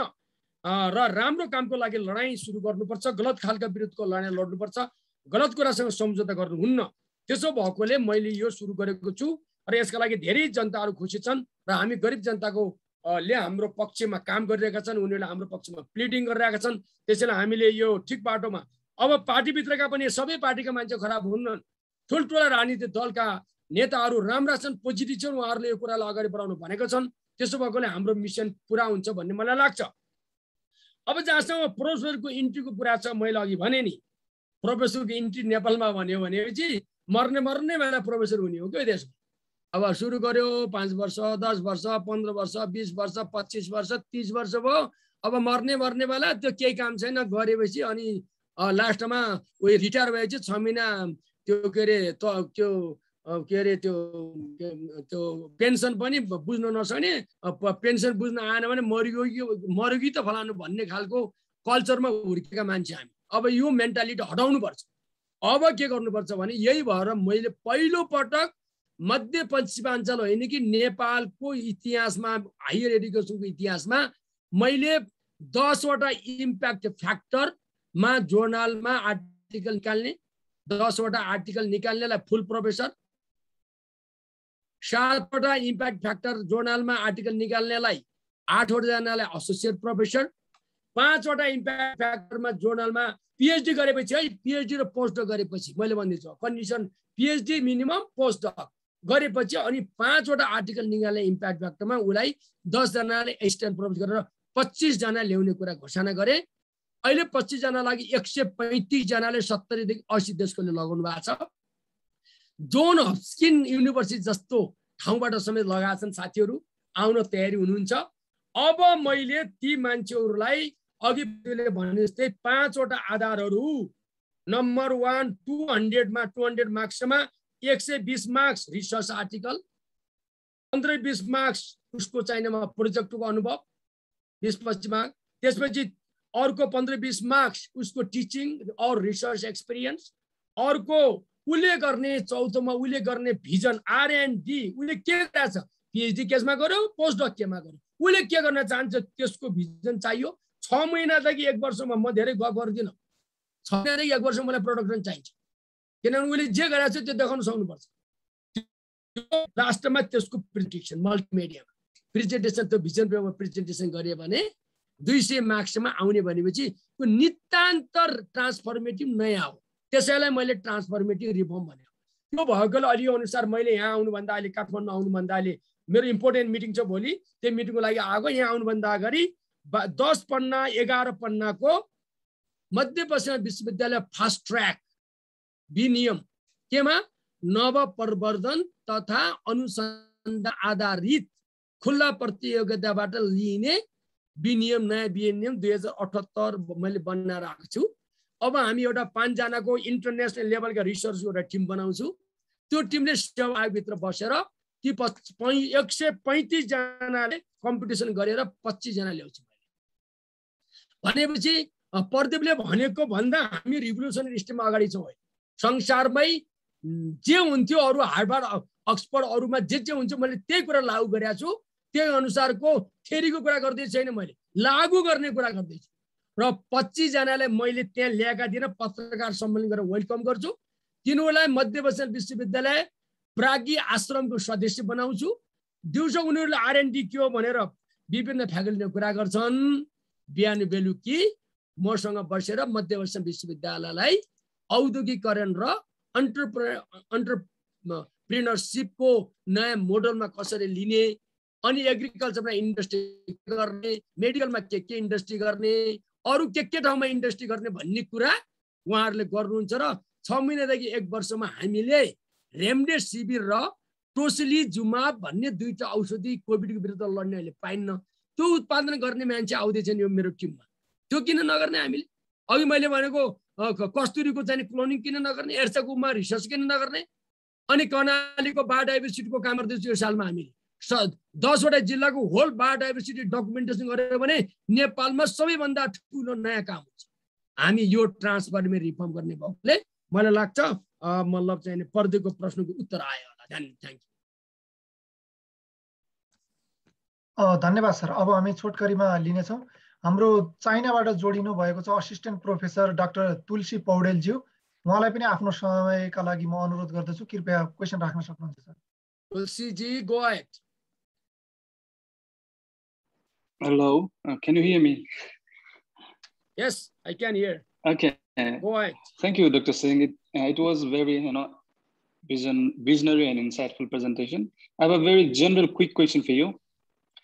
Uh, you have said yeah. that you have been series of, you know, presentation upfront, you know, central, provincial, local, even political parties uh, and yeah. their leaders, right?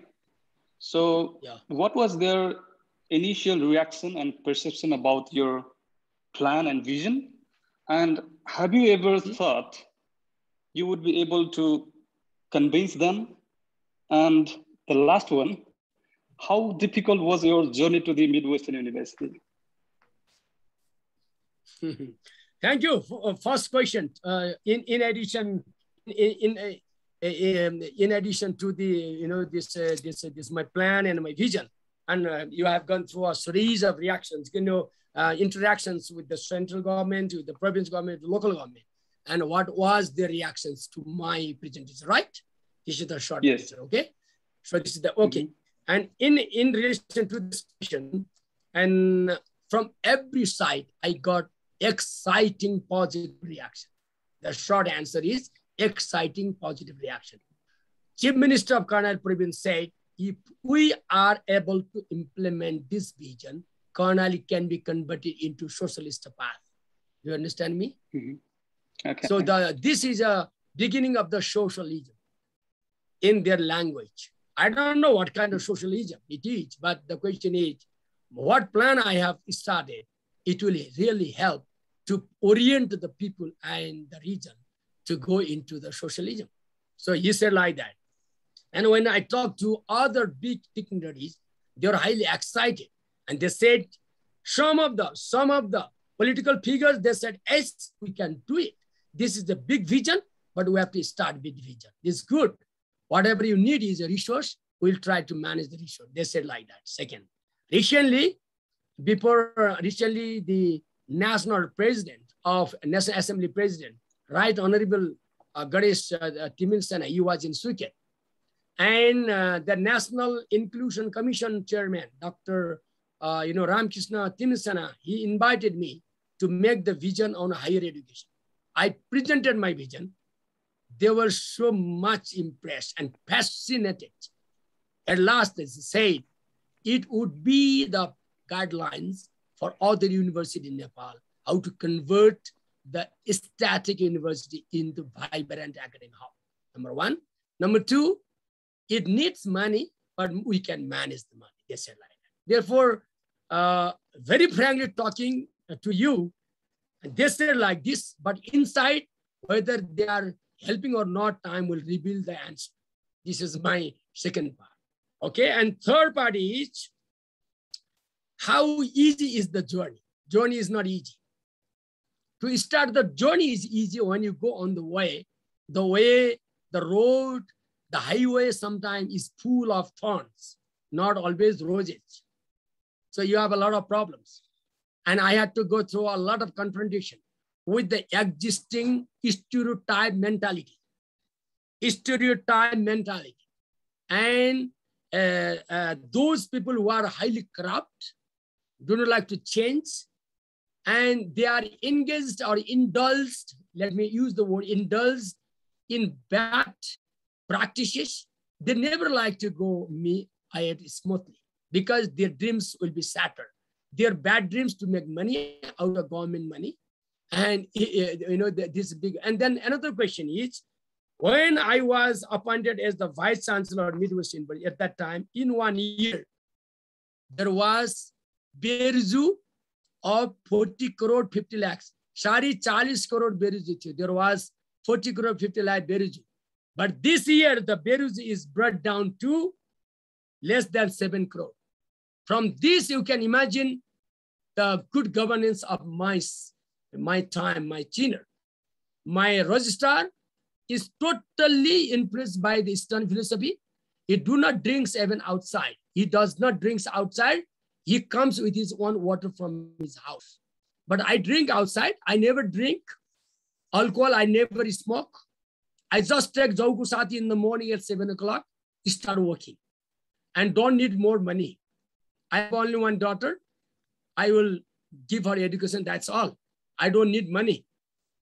I need the prosperity of the education system in Nepal, which will convert the life of the people in the remote areas as well as the city areas. That's why the journey is not easy. You know, I give you one example. When I fight, uh, I fought with these people, some of these students who really do not like to study hard, they want to go online exam system. I denied it, but they did not, you know, comply with me. There was a lot of problem. There was confrontation. There was a strike. There was a lockup. Finally, now I was compelled to come up with the mixed model of exam, online and physical. But most of these students are on, on, on the physical exam side. But a few, those who are not really you know, you know, diligent student, they want to put the pressure on the teachers, when on the authorities, they want to pass from their home. They want to hire somebody else to write for them. You understand me? And the second point is, there are some teachers who are really chiming with this kind of a bad element. within the university. These teachers, I sacked, I dismissed some of the teachers who gave marks, you know, um, by doing some bad things. Again, there are so-called organizations of some teachers. They came to put pressure on me. And there was a lot of strike. What happened? They announced that at last, they announced that the, the, the death of the Vice Chancellor of Midwest University. Did you, did you hear it or not? Some of the bad elements, they announced that there were the death of the Vice Chancellor of Midwest University. They announced my death. I was alive. You can imagine. But I'm fighting. I'm fighting. One day we have to die, you know. I am not worried of, I am not afraid of my death.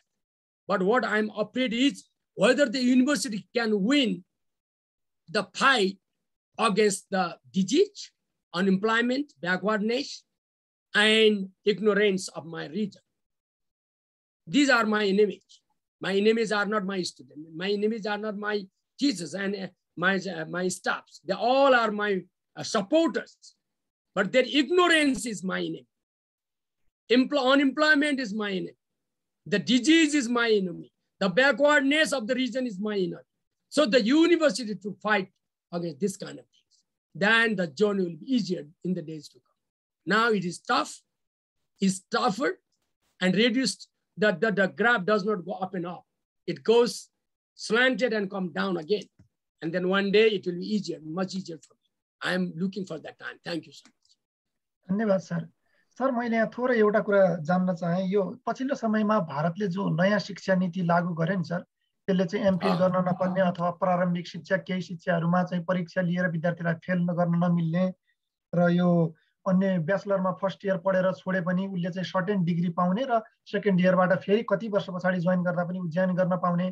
किनकि नेपालमा पनि त्यस्ता विभिन्न अध्ययनका समयमा बिचमा छोडेपछि कोर्सै drop out हुने भएका छन्। त्यो कुराहरूबाट हामीले के सिक्न सक्छौँ होला सर? हामीले र कसरी लागू गर्न सक्छौँ होला? म तपाईँलाई यसको पछाडि फिलोसफीको कुरा छ। हाम्रो दर्शन हाम्रो गुरुकुल र हाम्रो प्राचीन दर्शनमा हेर्नुहुन्छ भने एक्ज्याक्टली त्यही थियो। हो कि भन्नुहोस् त? पुरानो ठाउँमा तपाईँले जति पढ्नुभयो पढ्नुहोस् पछि सुरु गर्नु पाँच दस वर्षपछि शिष्यहरू गुरुहरूले त्यो गरे भने त्यस्तै हुन्थ्यो ज्ञान लिन्थ्यो अगाडि जान्थ्यो हो कि होइन? तर पश्चिमाको शिक्षालाई आएपछि तथाकथित कोर्स स्टडी बनाउन लाग्यो। यो नयाँ कोर्स स्टडी बनाएपछि हामीले यति पढेपछि विद्वान हुने यति पढेपछि एमफिल गर्ने यति पढेपछि डिग्री गर्ने यतिवटा विषय पढे जस्तो हुने भन्ने सिकाइयो क्या तपाईँ हामीलाई। आज त्यही पढेका छौँ हामी बडो गर्वका साथ पिएचडी गरेका छौँ मैले संसार खाएको छु भन्ने हुन्छ है। तर पिएचडी त केही होइन नि किनभने तिन चार वर्ष काम गर्ने। एउटा मान्छे एउटा विषय तिसौँ पचासौँ वर्ष काम गर्दा उसले पिएचडी लगाए हुन्न। तर हामीले तिन वर्ष चार वर्ष काम गर्छौँ पिएचडी लिन्छौँ तर साह्रै विद्वान हुन्छ। तर विद्वता भन्ने कुरा फरक विषय रहेछ। त्यो एउटा टेक्निकको सिकिन्छ। गलत होइन। तर हाम्रो पूर्वीय दर्शनले सिक्ने मोडालिटीको कुनै सुरु र अन्त्य सुरु गरेका छैन। सुरु भएपछि अनन्तसम्म गइरहन्छ भन्छ। तर पश्चिमाको दर्शनले हामीले के सिकायो? यति कोर्स पढाउने फर्दाउनु at the end of this त्यो पढेपछि यो हुन्छ भन्यो सिद्धि त्यति पढ्यो गयो। अब त्यति पढेन भने त्यो पनि हुन्न। कस्तो राम्रो चाहिँ हेर्नु त। त्यही सिकेर आयौँ नि हामी त अहिले। हामी त्यही सिक्दैछौँ अरू ठाउँमा पनि। अब हामीले तपाईँले भने जस्तै अब यदि इन्डियाले त्यस्तो गरेको हो भने इन्डियाले पूर्वीय दर्शनको अब मजा लिँदैछ। म त्यही भन्दैछु हामी पूर्वीय दर्शनको मजा लिनुपर्छ। हाम्रो पूर्वीय दर्शनले सिक्ने कुराको कहिले पनि अन्त्य गरेको छैन। कोर्सेबिटी के छ? हाम्रो कोर्सेबिटी त यस्ता कोर्सेबिटी कति थिए कति थिए पहिले पढाइ। त्यसैले मैले के भन्छु भने तपाईँले एउटा ज्ञान लिनुभयो छोड्नुभयो भने त्यसको आर्थिक हिसाब किताब त्यसको लगानी त्यसको दिमाग सबैलाई मान्यता गरेर राज्यको नागरिक हो भने ह्युमन राइटको दृष्टिकोणले पनि दस वर्षमा ज्यादा दिनुपर्छ। तपाईँले अन्याय कस्तो चाहिँ हेर्नु त। तपाईँले पन्ध्रवटा विषय छ चौधवटा विषय पास गर्नुभयो लास्ट इयरमा एउटा विषय पास गरेन भने त्यो सबै गयो खोल खोले गयो किन अलिक सिस्टम यो त अन्याय हो नि त। त्यसैले म के भन्छु भने लगै कुरा गरौँ। नेपालमा ल पर्दा सत्ताइसवटा विषय हुन्छ। छब्बिसवटा विषय छ पास गर्नुभयो लास्ट एउटा विषय पास गर्नुभयो त्यो सबै छब्बिसवटा विषय खोलखोलै गयो पच्चिस पाँच वर्षपछि। यस्तो पनि काहीँ हुन्छ पढाइ? हिजो बनाइदियो कसैले नियम मूर्खले बनाए। यिनीहरूलाई भन्छु मूर्ख मूर्ख भने यस्ताले भन्नु। अब विजडम शिक्षामा विजडम चाहिन्छ। अहिले इन्डियनहरूले विजडम खोजेको होला है शिक्षामा। नलेज र विजडम फरक नलेजले पहिलेको कुरा सिकाइदियो तपाईँलाई। विजडमले अहिलेको कुरा सिकायो। त्यसैले विजडम प्रयोग गर्नुपर्छ भन्ने लाग्छ। तपाईँलाई कस्तो लाग्छ? एकदम सर म सहमत छु। मैले त्यो उनीहरूले शिक्षा नीति रिलिज गर्ने बहसका बेला निकै उनीहरूले त्यत्रो गभर्मेन्टले सर भारतभरि लामो समय उनीहरूले अध्ययन गरेर बहस पनि चलाए। हाम्रा नेपालमा चाहिँ शिक्षा नीति बनाउने भनेर सर्टेन एउटा आयोगले त तयार पार्यो त्यो निकाल्दाखेरि पनि विरोध भयो। त्यसका कैयौँ पाटाहरू होलान्। तर मैले हाम्रो देशमा बनिरहेको त्यो शिक्षा नीति र भारतको शिक्षा नीति कम्पेरिटिभ गरेर पढ्दा पनि हामी कहाँ जाँदैछौँ र भारत कहाँ जाँदैछौँ भन्ने कुरा पनि छुट्याउन सकिन्छ नि त सर। त्यो भएर जोड्न खोजेको हो। तपाईँले भनेको कुरा ठिक छ। मैले भारतको नेसनल एडुकेसन पोलिसी पनि पढेँ। मैले नेपालको नेसनल एडुकेसन पोलिसी पढ्ने मात्र होइन मैले केही ठाउँमा मैले कन्ट्रिब्युट पनि गरेँ। तर मैले नेसनल पोलिसी बनाउँदा मैले मसँग धेरै कुरा सहमत थिएन। मैले त्यतिखेरको शिक्षा मन्त्रीले भनेको थिएँ।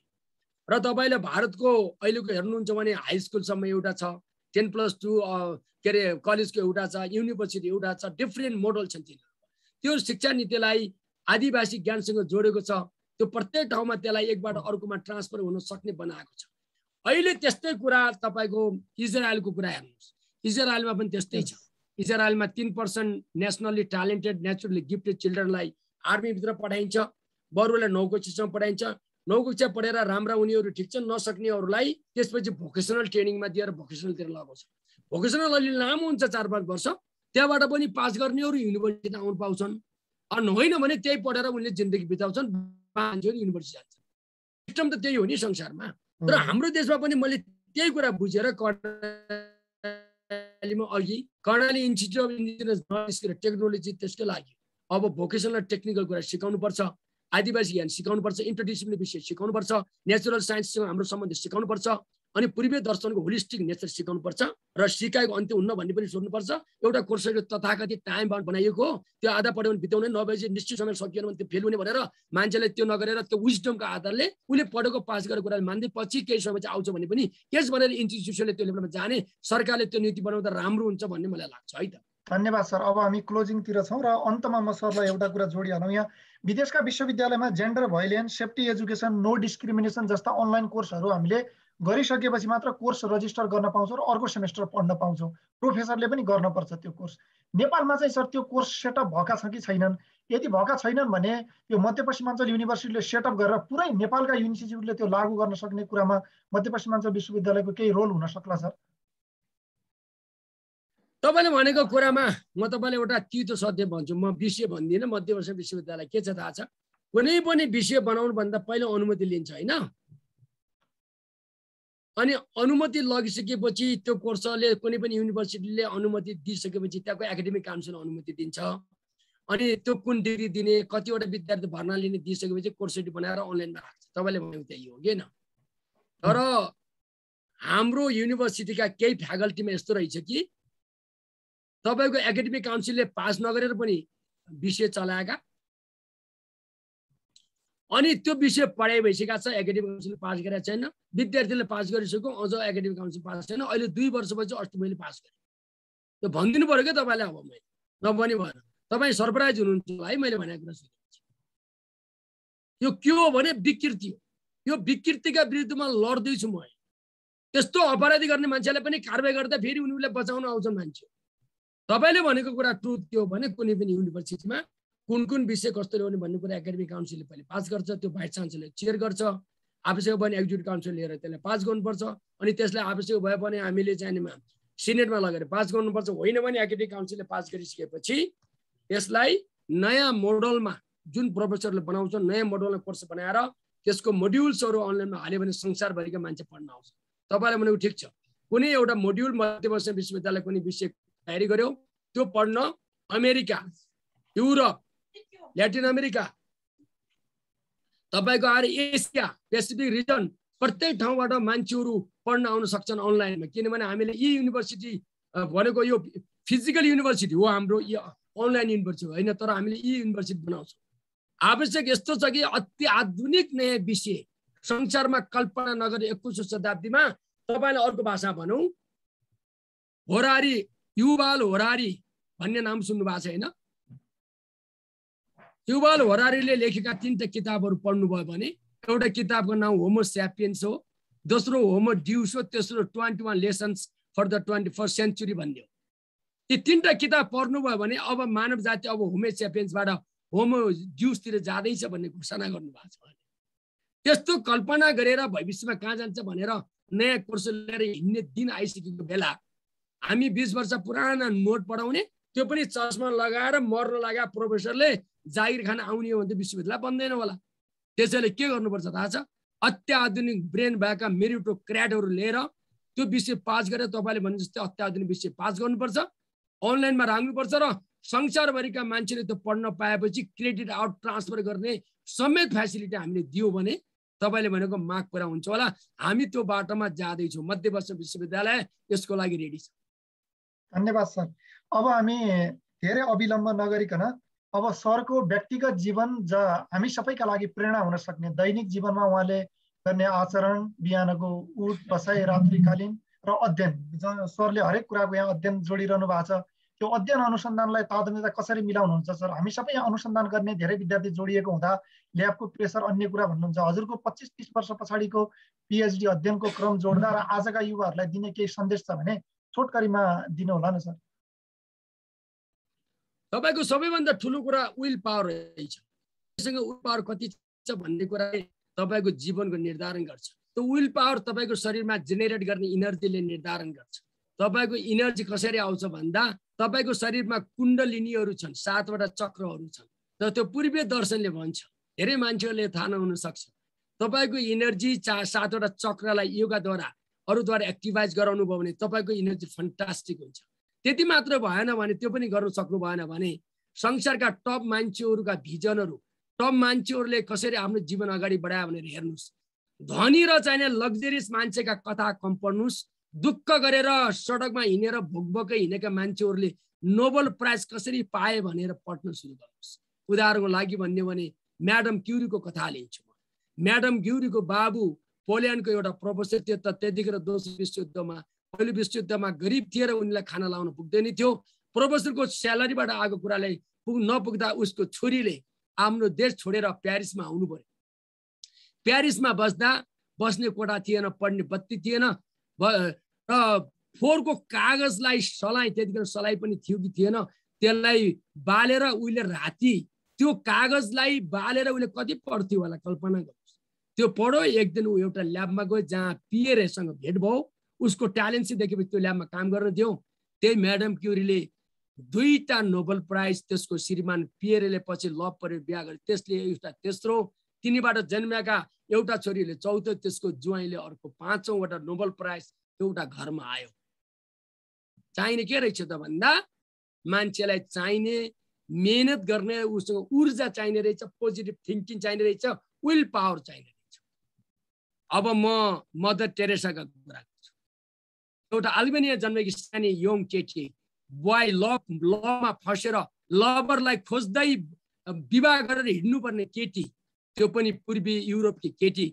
आफ्नो यङ अवस्थामा इन्डियामा आएर गल्ली गल्लीमा मरेका बच्चाहरू मर्दा फालेका बच्चाहरूलाई लिँदै सेवा गर्दै बसिन् यो त को क्रेजी रहेछ भने सुरु सुरुमा पछि लाखौँ लाख मान्छेहरूलाई उसले बचाएर मदर टेरेसा बनिन् जसले नोबल प्राइज कसले रोकेको थियो त्यो मदर टेरेसालाई कसले रोक्यो? उसले बिहा नगर लभमा फर्स्ट भनेर कसले नभने? भन् थियो होला नि। तर मान्छेको आफ्नो पर्सनल कुरा हुन्छ अनि उसले दुनियाँमा त्यो काम गर्यो Rabindranath Tagore, he never went to college, who never got the degree, but Rabindranath Tagore got Nobel Prize. हो कि भन्नु त? आज रविन्द्रनाथका किताबहरू हामी युनिभर्सिटी पिएचडी गर्नेहरूले पढ्छौँ। चाहिने के रहेछ त? चाहिने उत्साह इनर्जी र तपाईँसँग पोजिटिभ थिङ्किङ र तपाईँले केही गर्छु भन्ने फिलिङ भयो भने तिन चार घन्टा साउन्ड स्लिप सुतेपछि मात्रै हुन्छ। अल्फा बेटा गामा डेल्टा भन्छु म। डेल्टामा तिन घन्टा सुन्नु र अल्फामा सात घन्टा सुन्नु दस घन्टा सुन्नु एउटै एउटै। तपाईँ साइन्सको विद्यार्थीलाई साइन्सको उत्तर दिन्छु म। तिन घन्टा सुन्नु पुग्छ। जापानमा काम गर्दा गर्दा ल्याबमा म राति बाह्र एक बजे दुई बजे सुत्दा तिन घन्टा उठ्दा मजासँग निन्न पर्थ्यो इच्छाको कुरा हो।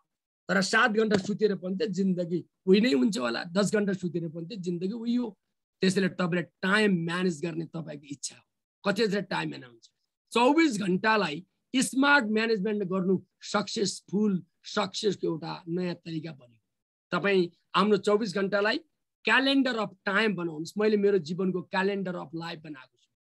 मैले क्यालेन्डर लाइफ बनाउँदा कति वर्षमा डिग्री गर्ने कति वर्ष पिएचडी गर्ने कति वर्ष प्रोफेसर बन्ने आज चार वर्षमा भिसी भोलि अब त्यसपछि के गर्ने देश र जनताको लागि भनेर मैले क्यालेन्डर बनाएको छु सानो सानो। त्यसलाई मैले क्यालेन्डर अफ लाइफ भन्छु।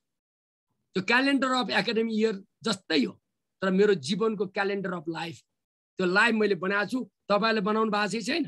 बनाउनु भएको छैन बनाउनुहोस् आजबाट। तपाईँहरूको क्यालेन्डर अफ लाइफ अनि त्यसै गरियो भने अन्तको जोड दिनुहुन्छ सर यो जुन जस्तै तपाईँ विभिन्न सामाजिक संस्थामा रहनुभयो म रहँला अर्को रहँला जो सामाजिक संस्थाको नेतृत्व लिन्छ नि सर उनीहरूले तलब खाँदैनन् केही खाँदैनन् तर पनि उनले एक्स्ट्रा जीवनको टाइम इफोर्ट लगाएर कम सुतेर सबै गर्छन्। तर तपाईँ त अहिले कुनै एकाडेमिक पोस्टमा हुनुहुन्छ जहाँ चाहिँ थोरै मनी पनि आउँछ अथवा कर्मचारीलाई कारवाही गर्न सक्नुहुन्छ तपाईँको सिग्नेचरमा पावर हुन्छ। तर सामाजिक नेतृत्व लिइरहेको त्यो व्यक्तिको हातमा कारवाही गर्ने पावर पनि हुँदैन। सामाजिक संस्थाको नेतृत्व लिएको हुन्छ। तर टिमवर्कका भएका साथीहरू कहिलेकाहीँ चाहिँ अघि तपाईँले भने जस्तै निन्द्रा नपुग्ने अनि कहिले केही बाहना कहिले यो भयो कहिले त्यो भयो बाहनाहरू आउँछ नि सर। ती चाहिँ त्यस्ता टिमलाई चाहिँ कसरी लिड गरेर तपाईँ जानुहुन्छ सर? त्यो कुरा चाहिँ सबैका लागि प्रेरणा हुनसक्छ कि? तपाईँको दुईवटा कुरा रहेछ। तपाईँले सुरु गर्नुभएको कुनै पनि संस्थाको एउटा नेता हुन्छ वा कुनै पनि पार्टीको नेता हुन्छ लाखौँ मान्छे एउटा नेताको पछाडि किन लाग्छ? त्यसको पछाडि एउटै कारण छ उनीहरूको दर्शनबाट प्रभावित भएर लाग्छ। त्यो व्यक्ति अग्लो मोटो छोटो होचो टाई लगाएको छैन सु लगाएको छैन मतलब छैन। उसको विचार के हो? उसले समाज परिवर्तनको लागि कस्तो विचार लिन्छ त्यसले उसलाई रिभोल्युसनाइज गर्छ। It will galvanise your life into reality. त्यस्तो हुन्छ। त्यसो भएर लाखौँ लाख करोडौँ मान्छेहरू आज अमेरिका राष्ट्रपतिको चुनाव हेर्नु भने संसारमा सबैभन्दा बढी फ्यासिनेटिङ इलेक्सन हो कि होइन भन्नुहोस् त। कस्तरी मान्छेहरू लाग्छन्। संसारका संसारको सबभन्दा ठुलो पावरफुल शक्ति के हो भने पोलिटिक्स पोलिटिक्सले सबै गभर्न गर्छ। तर ब्युटिफुल पोलिटिक्स र अब डटी पोलिटिक्सको बिचको फरक त्यही हो। एउटा ब्युटिफुल पोलिटिक्समा मानिसहरू पावरफुल भएर लाग्छ। त्यसको पछाडि एउटै हुन्छ उसको इमान्दारपूर्वक त्यो मिसनप्रति लाग्ने प्रतिबद्धता। तपाईँले नेतृत्व गर्नुभयो साबित संस्थाको। पवित्र उद्देश्य के हो? त्यसमा सबै प्रतिबद्ध भए त्यसमा नेतृत्वले प्रतिबद्ध गराउन सकेर त्यो तरिकाले गयो। त्यसको नेतृत्वले चौबिसै घन्टा खटेको। अरू सदस्यले देखे भने उनीहरूलाई पनि टिट लाग्छ उसले पनि माया लाग्छ उसलाई पनि सम्मान लाग्छ। उनीहरूलाई पनि ऊप्रति झुक्ने सम्मान सुरु हुन्छ। तर उसले बदमासी गर्यो उसले भित्र पैसा लुकाएर खायो हुँदा नहुँदा काम गर्यो भने थाहा पाएपछि उसले विरोध गर्छ। त्यही हो। आज म मध्यपश्चिम विश्वविद्यालय छु।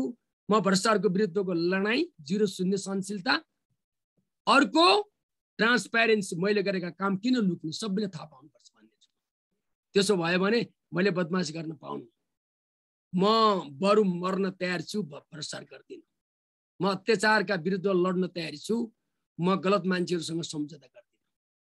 मलाई झुन्डाइदेऊ जति अग्लो कुनै चाइनामा एउटा झुन्डाउने हुन्छ नि। त्रिशुलमा लगेर जति अग्लो बनाउँछु झुन्डाउ तर म गलत कुरासँग सम्झौता गर्दिनँ भन्नुभयो भने तपाईँ के को लागि हो भने तपाईँ राम्रो कामको लागि हो भनेपछि त अनि हजारौँ लाखौँ मान्छे तपाईँ पैसा लागिहाल्छ नि। तर त्यसका लागि takes time you have to struggle it's not easy you have to prove that you are doing right job for the right people त्यस्तो जबको लागि ठिक काम गरेको देखियो भने पिपलहरू लाग्छन्। त्यसैले मलाई लाग्छ सामाजिक कुरा पनि त्यही हो। सामाजिक काममा लाग्ने मान्छेहरूको त्यही हो जिन्दगीमा ऊर्जा भए पनि त्यही हो। हामीले केही गरौँ भन्ने हो नि। होइन कुरा क्लियर छ। मान्छे जन्मिन्छन् दाल भात तरकारी खाएर बिहा गरेर छोराछोरी जन्माएर मर्नु पनि मर्ने हो। संसारका लागि परिवर्तन गरेर केही गरौँ भनेर मर्नु पनि मर्ने हो। त्यसैले मैले रोबिन शर्माको एउटा किताबको फेरि सम्झना गराएँ तपाईँहरू युवालाई। Who will cry when you will die भन्ने किताब छ। पढ्नुहोस् तपाईँहरू who will cry when you will die दुई सय छवटा जति काम छन् त्यहाँ गऱ्यो भने people will cry when you will die भन्नुहुन्छ त्यो भनेको तपाईँले भने जस्तै सामाजिक कुरा हो। त्यति मात्र होइन कि मानिसहरूले गरिबहरूका पक्षमा अथवा निम्बुका पक्षमा राम्रो सिस्टमको पक्षमा गलत कुरा विरुद्धमा लड्दा गलत समाज छ भने तपाईँलाई ठुलो गाह्रो हुन्छ। तेस्रो पनि तेस्रो विश्वमा झनै गाह्रो हुन्छ। कयौँ मान्छे मारेका छन् कयौँ पत्रकार मारिएका छन्। आज तालिबानको कथाहरू हिजो दुईजना पत्रकारको अवस्था कस्तो थियो अफगानिस्तानमा? तपाईँ हामी यही संसारमा छौँ। तपाईँ र म अहिले एउटा तपाईँ ब्युटिफुल देशमा हुनुहुन्छ म पनि अर्को ब्युटिफुल देशै भन्छौँ हामी कहाँ यस्तो मान्छे त मर्या छैन नि? तर यहाँनिर तालिबानहरूको हिजो दुईवटा पत्रकारहरूलाई त्यो पिटोको हेऱ्यो भने कस्तो राज्य कस्तो शासन कस्ता नेता? तपाईँले के भन्नुहुन्छ? त्यसैले विचार फरक कुरा कस्तो विचार लिने भन्ने कुरा रहेछ क्या सबै। त्यसैले यो कुरा लिएर गइयो ठिक ठाउँमा गइयो भने तपाईँ हामीले राइट त्यसैले मैले भने संसारमा ट्वेन्टी फर्स्ट सेन्चुरीको लागि म तपाईँलाई एउटै कुरा भन्छु अन्तिममा। हन्टरमा सोसाइटी वान पोइन्ट जिरो थियो ज्ञानको लेभल। त्यहाँबाट परिवर्तन गयो मानव समाज आयो सोसाइटी टु पोइन्ट जिरो आयो। त्यो भनेको एग्रिकल्चर हो सामन्तवादी। त्यहाँबाट पनि समाज अगाडि गयो इन्डस्ट्रियलाइजेसन भयो। सोसाइटी थ्री पोइन्ट जिरो भयो इन्डस्ट्रियलाइजेसन भयो गुड्सहरूको मास प्रोडक्सन भयो। समाज रोकेन अगाडि बढ्यो। फेरि अहिले आइटीको युग भनिन्छ त्यसलाई सोसाइटी फोर पोइन्ट जिरो भनिन्छ। अब त्यहाँ रोकेको छैन। नोबाल होरारीले भने जस्तै अब हामी अगाडि बढ्दैछ यसलाई डिसरप्टिभ औ डिजिटल टेक्नोलोजी भन्छ। द न्युरल आर्किटेक्चर तपाईँको चाहिँ रोबोटिक साइन्स तपाईँको चाहिँ नयाँ नयाँ युग आएर अब दुई हजार उनसत्तरी पछि सोसाइटी फाइभ पोइन्ट जिरो हुँदैछ अरे त्यसको सदस्य हामी सबै बन्नुपर्छ। अब हामी त्यो बन्न तयार छौँ छैनौँ? त्यसको लागि विश्वविद्यालय संसारका तयार चाहिँ छन्? संसारभरिको युवाहरूलाई तयारी गर्न हामी रेडी छौँ छैनौँ? ग्रेट कुरा छ। आज संसारमा सोसाइटी फाइभ पोइन्ट जिरोको रियलाइजेसनका लागि साइन्स एन्ड टेक्नोलोजी लागिरहेको छ। त्यसमा मैले विभिन्न विधाको अहिले टाइम छैन व्याख्या गरिदिनु। तर म यो कुरामा तपाईँ जानका लागि तपाईँले जे सोसाइटीको नेतृत्व गर्नुभएको छ यो कुरा तपाईँले डिजिटल सोसाइटी बनाउने त्यसको यज्ञ मान्छे बनाउन सुरु गर्नुभयो भने हामी सबै ठिक ठाउँमा जान्छौँ। मेरो सोचाइ थियो यो म गाउँमा जन्मेँ खडी र पार्टी घाँटीमा झुन्डाएर स्कुल जान्थेँ स्कुलमा बस्ने ठाउँ हुन्थेन फर्केर आउँदा एउटा घरको कुकुर साह्रै झोडी त्यो त्यो कतिखेर त्यो साङ्लो फुटालेर मलाई टोक्छ भन्ने प्रत्येक दिन मलाई चिन्ता हुन्थ्यो। त्यसरी पढ्दै पढ्दै जीवनमा मैले बोर्डिङ स्कुल देखिनँ टिचर देखिनँ। पेन्सिल भेटाउँदाखेरि साह्रै राम्रो भयो आहा पेन्सिललाई कपी हुन्छ भन्ने थाहा पाउँथेँ। किनभने मैले रुखका बार्काबाट कालो मसी बनाएर त्यहीबाट तपाईँको निकालेको पेनले लेखेर पहाडी कागजमा लेखेर पढ्थेँ पहिले कल्पना गर्नुहोस् त त्यो ठाउँबाट पढेर आएको गाउँको मान्छे हो म। आज मेरो छोरी बोर्डिङ पढ्छन् अत्याधुनिक कुरा गर्छन्। तर मलाई त केही फरक परेन त मैले ठिक बाटो लगेँ नलेज लिन त रोक्ने रहन्छ त रोकिएन र त्यो दुःख भएकोले अहिले म ती गरिबहरू जो त्यो ठाउँमा छन् जहाँबाट म आएँ मेरा भाइहरू दाजुभाइहरू मेरा छोराछोरीहरू दिदी बहिनीहरू अहिले पनि जङ्गलमा छन् भिडे गोठाला छन् उनका लागि मैले त्यो विश्वविद्यालय परिवर्तन खोजेको। तपाईँलाई म अन्तिमै भन्छु। म किन लागेँ त्यहाँ भन्दा त्यो पीडाबाट लाग्यो मेरो पीडा त्यहाँ हो। त्यही पीडाले यो देशका गरिबहरू पढ्ने सबैको एक्सेस होस् भन्ने विश्वविद्यालय बनाउन चाहन्छु। मेरो पीडा त्यही हो। म पिएचडी गरेर प्रोफेसर भएर भिसी भए पनि मलाई सन्तोष छैन। म बनेर बन्दैन सबै बन्नुपर्छ भनेर। आज साउथ कोरिया बनेर मात्रै गरिब सबै जनता धनी भएको एउटा मान्छे धनी बनेर साउथ कोरिया नबनेको भए हुँदैन थियो। जापान त्यस्तै सिङ्गापुर त्यस्तै त्यसैले देश बनाऊ सोसाइटी धनी बनाऊ अनि हामी धनी हुन्छौँ। भ्रष्टाचार गरेर व्यक्ति धनी भएर केही हुनेवाला छैन। त्यसले म भ्रष्टाचारको विरुद्धको लडाइँ लड्छु। मेरो सोचाइ त्यो यो म बिहान उठ्छु जाँड रसी खान्न म योगा गर्छु योगा मेरो जीवन हो जाउको साधु खान्छु अनि दिनभरिको मेरो ठुलो हुन्छ राति नौ दस वर्षमा युनिभर्सिटी काम सक्छु अहिले अनि एघार बाह्र बजेपछि राति एक बजीसम्म म किताब पढ्छु र मैले मलाई अप टु डेट राख्नु पऱ्यो अब होइन भने मेरो चार वर्षमा फेरि मेरो सब पढेको सिद्धिन्छ म मलिकुलर बायोलोजीको मान्छे प्रति महिना हेर्नु पऱ्यो प्रतिदिन हेर्नु पऱ्यो कति कति नयाँ ल्याबमा आइरहेछन् संसारमा त्यो पनि हेर्नु पऱ्यो उता स्विचको चाहिनेमा प्रोटिन तपाईँको चाहिनेमा उबाट सोसाइटीबाट त्यहाँको प्रोटिनमा नयाँ कुन प्रोटिन आयो? यतातिर डिएनएका न्युक्लिक एसिडमा कुन नयाँ कुरा आयो? कहाँ चाहिने नयाँ मेडिसिन आयो? कुन मेडिसिनमा नयाँ कुरा आयो? नोबल प्राइज कहिले पायो? सब हेर्नु परेन भने। सजिलो छ र भने संसार यी सबै कुरा गर्दै गर्दा तपाईँलाई टाइम हुनु तर आतिनुहुन्न be patient slowly you go one by one one day you will win the world the winner is alone तपाईँ एक्लै छु भने नडराउनुहोस्। Win winner is alone the alone winner will win the world मैले यति भन्छु। धन्यवाद। धेरै धेरै धन्यवाद सर। अब हामी क्लोजिङमा जान्छौँ र आगामी सत्रका लागि ग्रिनसन शर्माजीलाई म हस्तान्तरण गर्छु। धन्यवाद।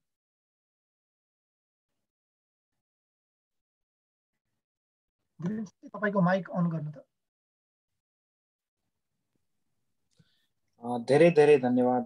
प्रोफेसर डाक्टर नन्दबहादुर सिंहज्यूलाई हाम्रो आग्रह स्वीकार गरेर आउनुभएको आजको धेरै धेरै धन्यवाद। प्रेजेन्टेसन धेरै राम्रो थियो। यसै गरी यो कार्यक्रमको फर्मल इन्डिङ गर्नको लागि म अठारौँ कार्य समितिको अध्यक्ष दीर्घराज जोशीज्यूलाई यो फ्लोर हस्तान्तरण गर्न चाहन्छु। फेरि पनि सम्पूर्णमा धेरै धेरै धन्यवाद। विभिन्न कोरियामा रहेका विभिन्न विश्वविद्यालयमा अध्यापन गराइरहनुभएका प्राध्यापकहरू यहाँ रहनुभएका पुस्तकहरू तथा विभिन्न देश र नेपालबाट जोडिनुभएका सम्पूर्णलाई तपाईँहरूलाई धेरै धन्यवाद यो समयका लागि। अब हामी यो कुरा फेसबुकमा लाइभ छँदैछ सँगसँगै हामी यो युट्युबमा राख्छौँ र यसको अर्को हामीले रिटर्न फर्मको ड्राफ्ट बनाएर वेबसाइटमा राख्छौँ र प्रोफेसरले आज सेयर गरेको स्लाइड हामीले रिसिभ गरेर हाम्रो वेबसाइटमा रहनेछ। त्यो भएर विश्वभर रहनुभएका व्यक्तिहरूले यसलाई लङ टर्म पनि हेर्न देख्न सक्नुहुनेछ। हामी हाम्रा ठाउँबाट सक्ने जति प्रयास गर्नेछौँ। र आज एकदमै आई ओपेनिङ जुन प्रेजेन्टेसन दिनुभयो सरले जीवन दर्शन एक जीवनलाई नै गाइड हुन सक्ने जुन मोटिभेसनल ट्रेनिङ जस्तो पनि एक फेज रह्यो। त्यसका लागि म एकदमै कृतज्ञ छु।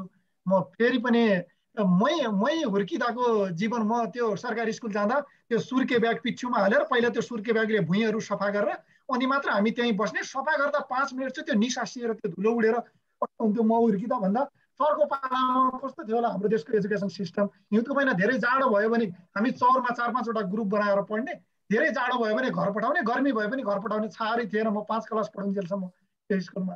भने सरको विद्यालय कस्तो हुन्छ होला कल्पना गर्न सक्छु। त्यसैले यी थुप्रै प्रेरणाका स्रोतहरू जुन आदरणीय गुरुले जोड्नुभयो त्यो सबै हामी सबैका लागि मार्गदर्शन बन्न सकोस्। र सोनसिकले जुन बाहन्नवटा इपिसिएड चलाउने सङ्कल्प लिएको छ यो वर्ष हरेक हप्ता। नेपालका हरेक भिसीका कुरा सुन्नेछौँ हामी रिसर्च डाइरेक्टरका कुरा सुन्नेछौँ भनेका छौँ। हामीले सबैलाई मेलहरू गरिरहेका छौँ। जतिले हाम्रो इन्भिटेसन एक्सेप्ट गर्नुहुन्छ त्यो हाम्रा लागि पनि सौभाग्य हो उहाँहरूका लागि पनि होला। त्यसैले हामी हाम्रो ठाउँबाट प्रयत्न गरिरहेका छौँ। आदरणीय गुरुसँग हामी लामो समयसम्म पनि पछि संवादमा रहनेछौँ विभिन्न एजुकेसनल सेमिनार अन्य कुरामा। त्यसैले आजको कार्यमा म केही पनि बाँकी नराखिकन केही छुटेका शब्द सरले होम टेक मेसेज केही दिनु छ भने सरले छोटोमा राख्नुहुनेछ। अन्तमा अथवा यो सेसन यहीँ समापन भएको जानकारी गराउँछु। धन्यवाद। धेरै धन्यवाद। म सोन सिख साउथ कोरिया त्यसको अध्यक्ष जोशी र शर्मा दुइटैलाई मैले उहाँहरूको टिमलाई मैले हार्दिक धन्यवाद दिन चाहन्छु। म एप्रिसिएसन गर्न चाहन्छु। यहाँहरूको जुन मलाई बोलाएर आज मेरो विचार राख्ने अवसर प्रदान गर्नुभयो। सबैजना विद्वान साथीहरू जो संसारको विभिन्न भागबाट यहाँ जोडिनु भएको छ। यो समयसम्म रहनुभएको छ। यहाँहरू सबैप्रति मैले कृतज्ञता ज्ञापन गर्छु। ज ब्युटिफुल प्रश्न सोधेर पोजिटिभ भाइब दिनुभयो। म पनि तपाईँहरू जस्तैको ऊर्जाबाट बाँचेको मान्छे हुँ र राम्रा मान्छेहरूको साथमा बाँचेको मान्छे हुँ र म राम्रा मान्छेहरूको लागि बाँच्ने मान्छे पनि हुँ। त्यसैले हामी यो सबै एक आपसमा यही प्रतिबद्धता गर्दै हामी सँगसँगै अगाडि जाउँ र हामी एक आपसमा सेयरिङ गरौँ। यति भन्दै मलाई जुन अवसर प्रदान गर्नुभयो म तपाईँप्रति तपाईँको टिम र तपाईँको सोसाइटीप्रति धन्यवाद ज्ञापन गर्दै मेरो भनाइ यहीँ टुङ्गाउँछु धन्यवाद नमस्कार। धेरै धेरै धन्यवाद सर। आजको सेसन यहीँ नै समापन हुन्छ। ग्रिन सनजीलाई लाइभ अफ गर्न सक्नुहुन्छ।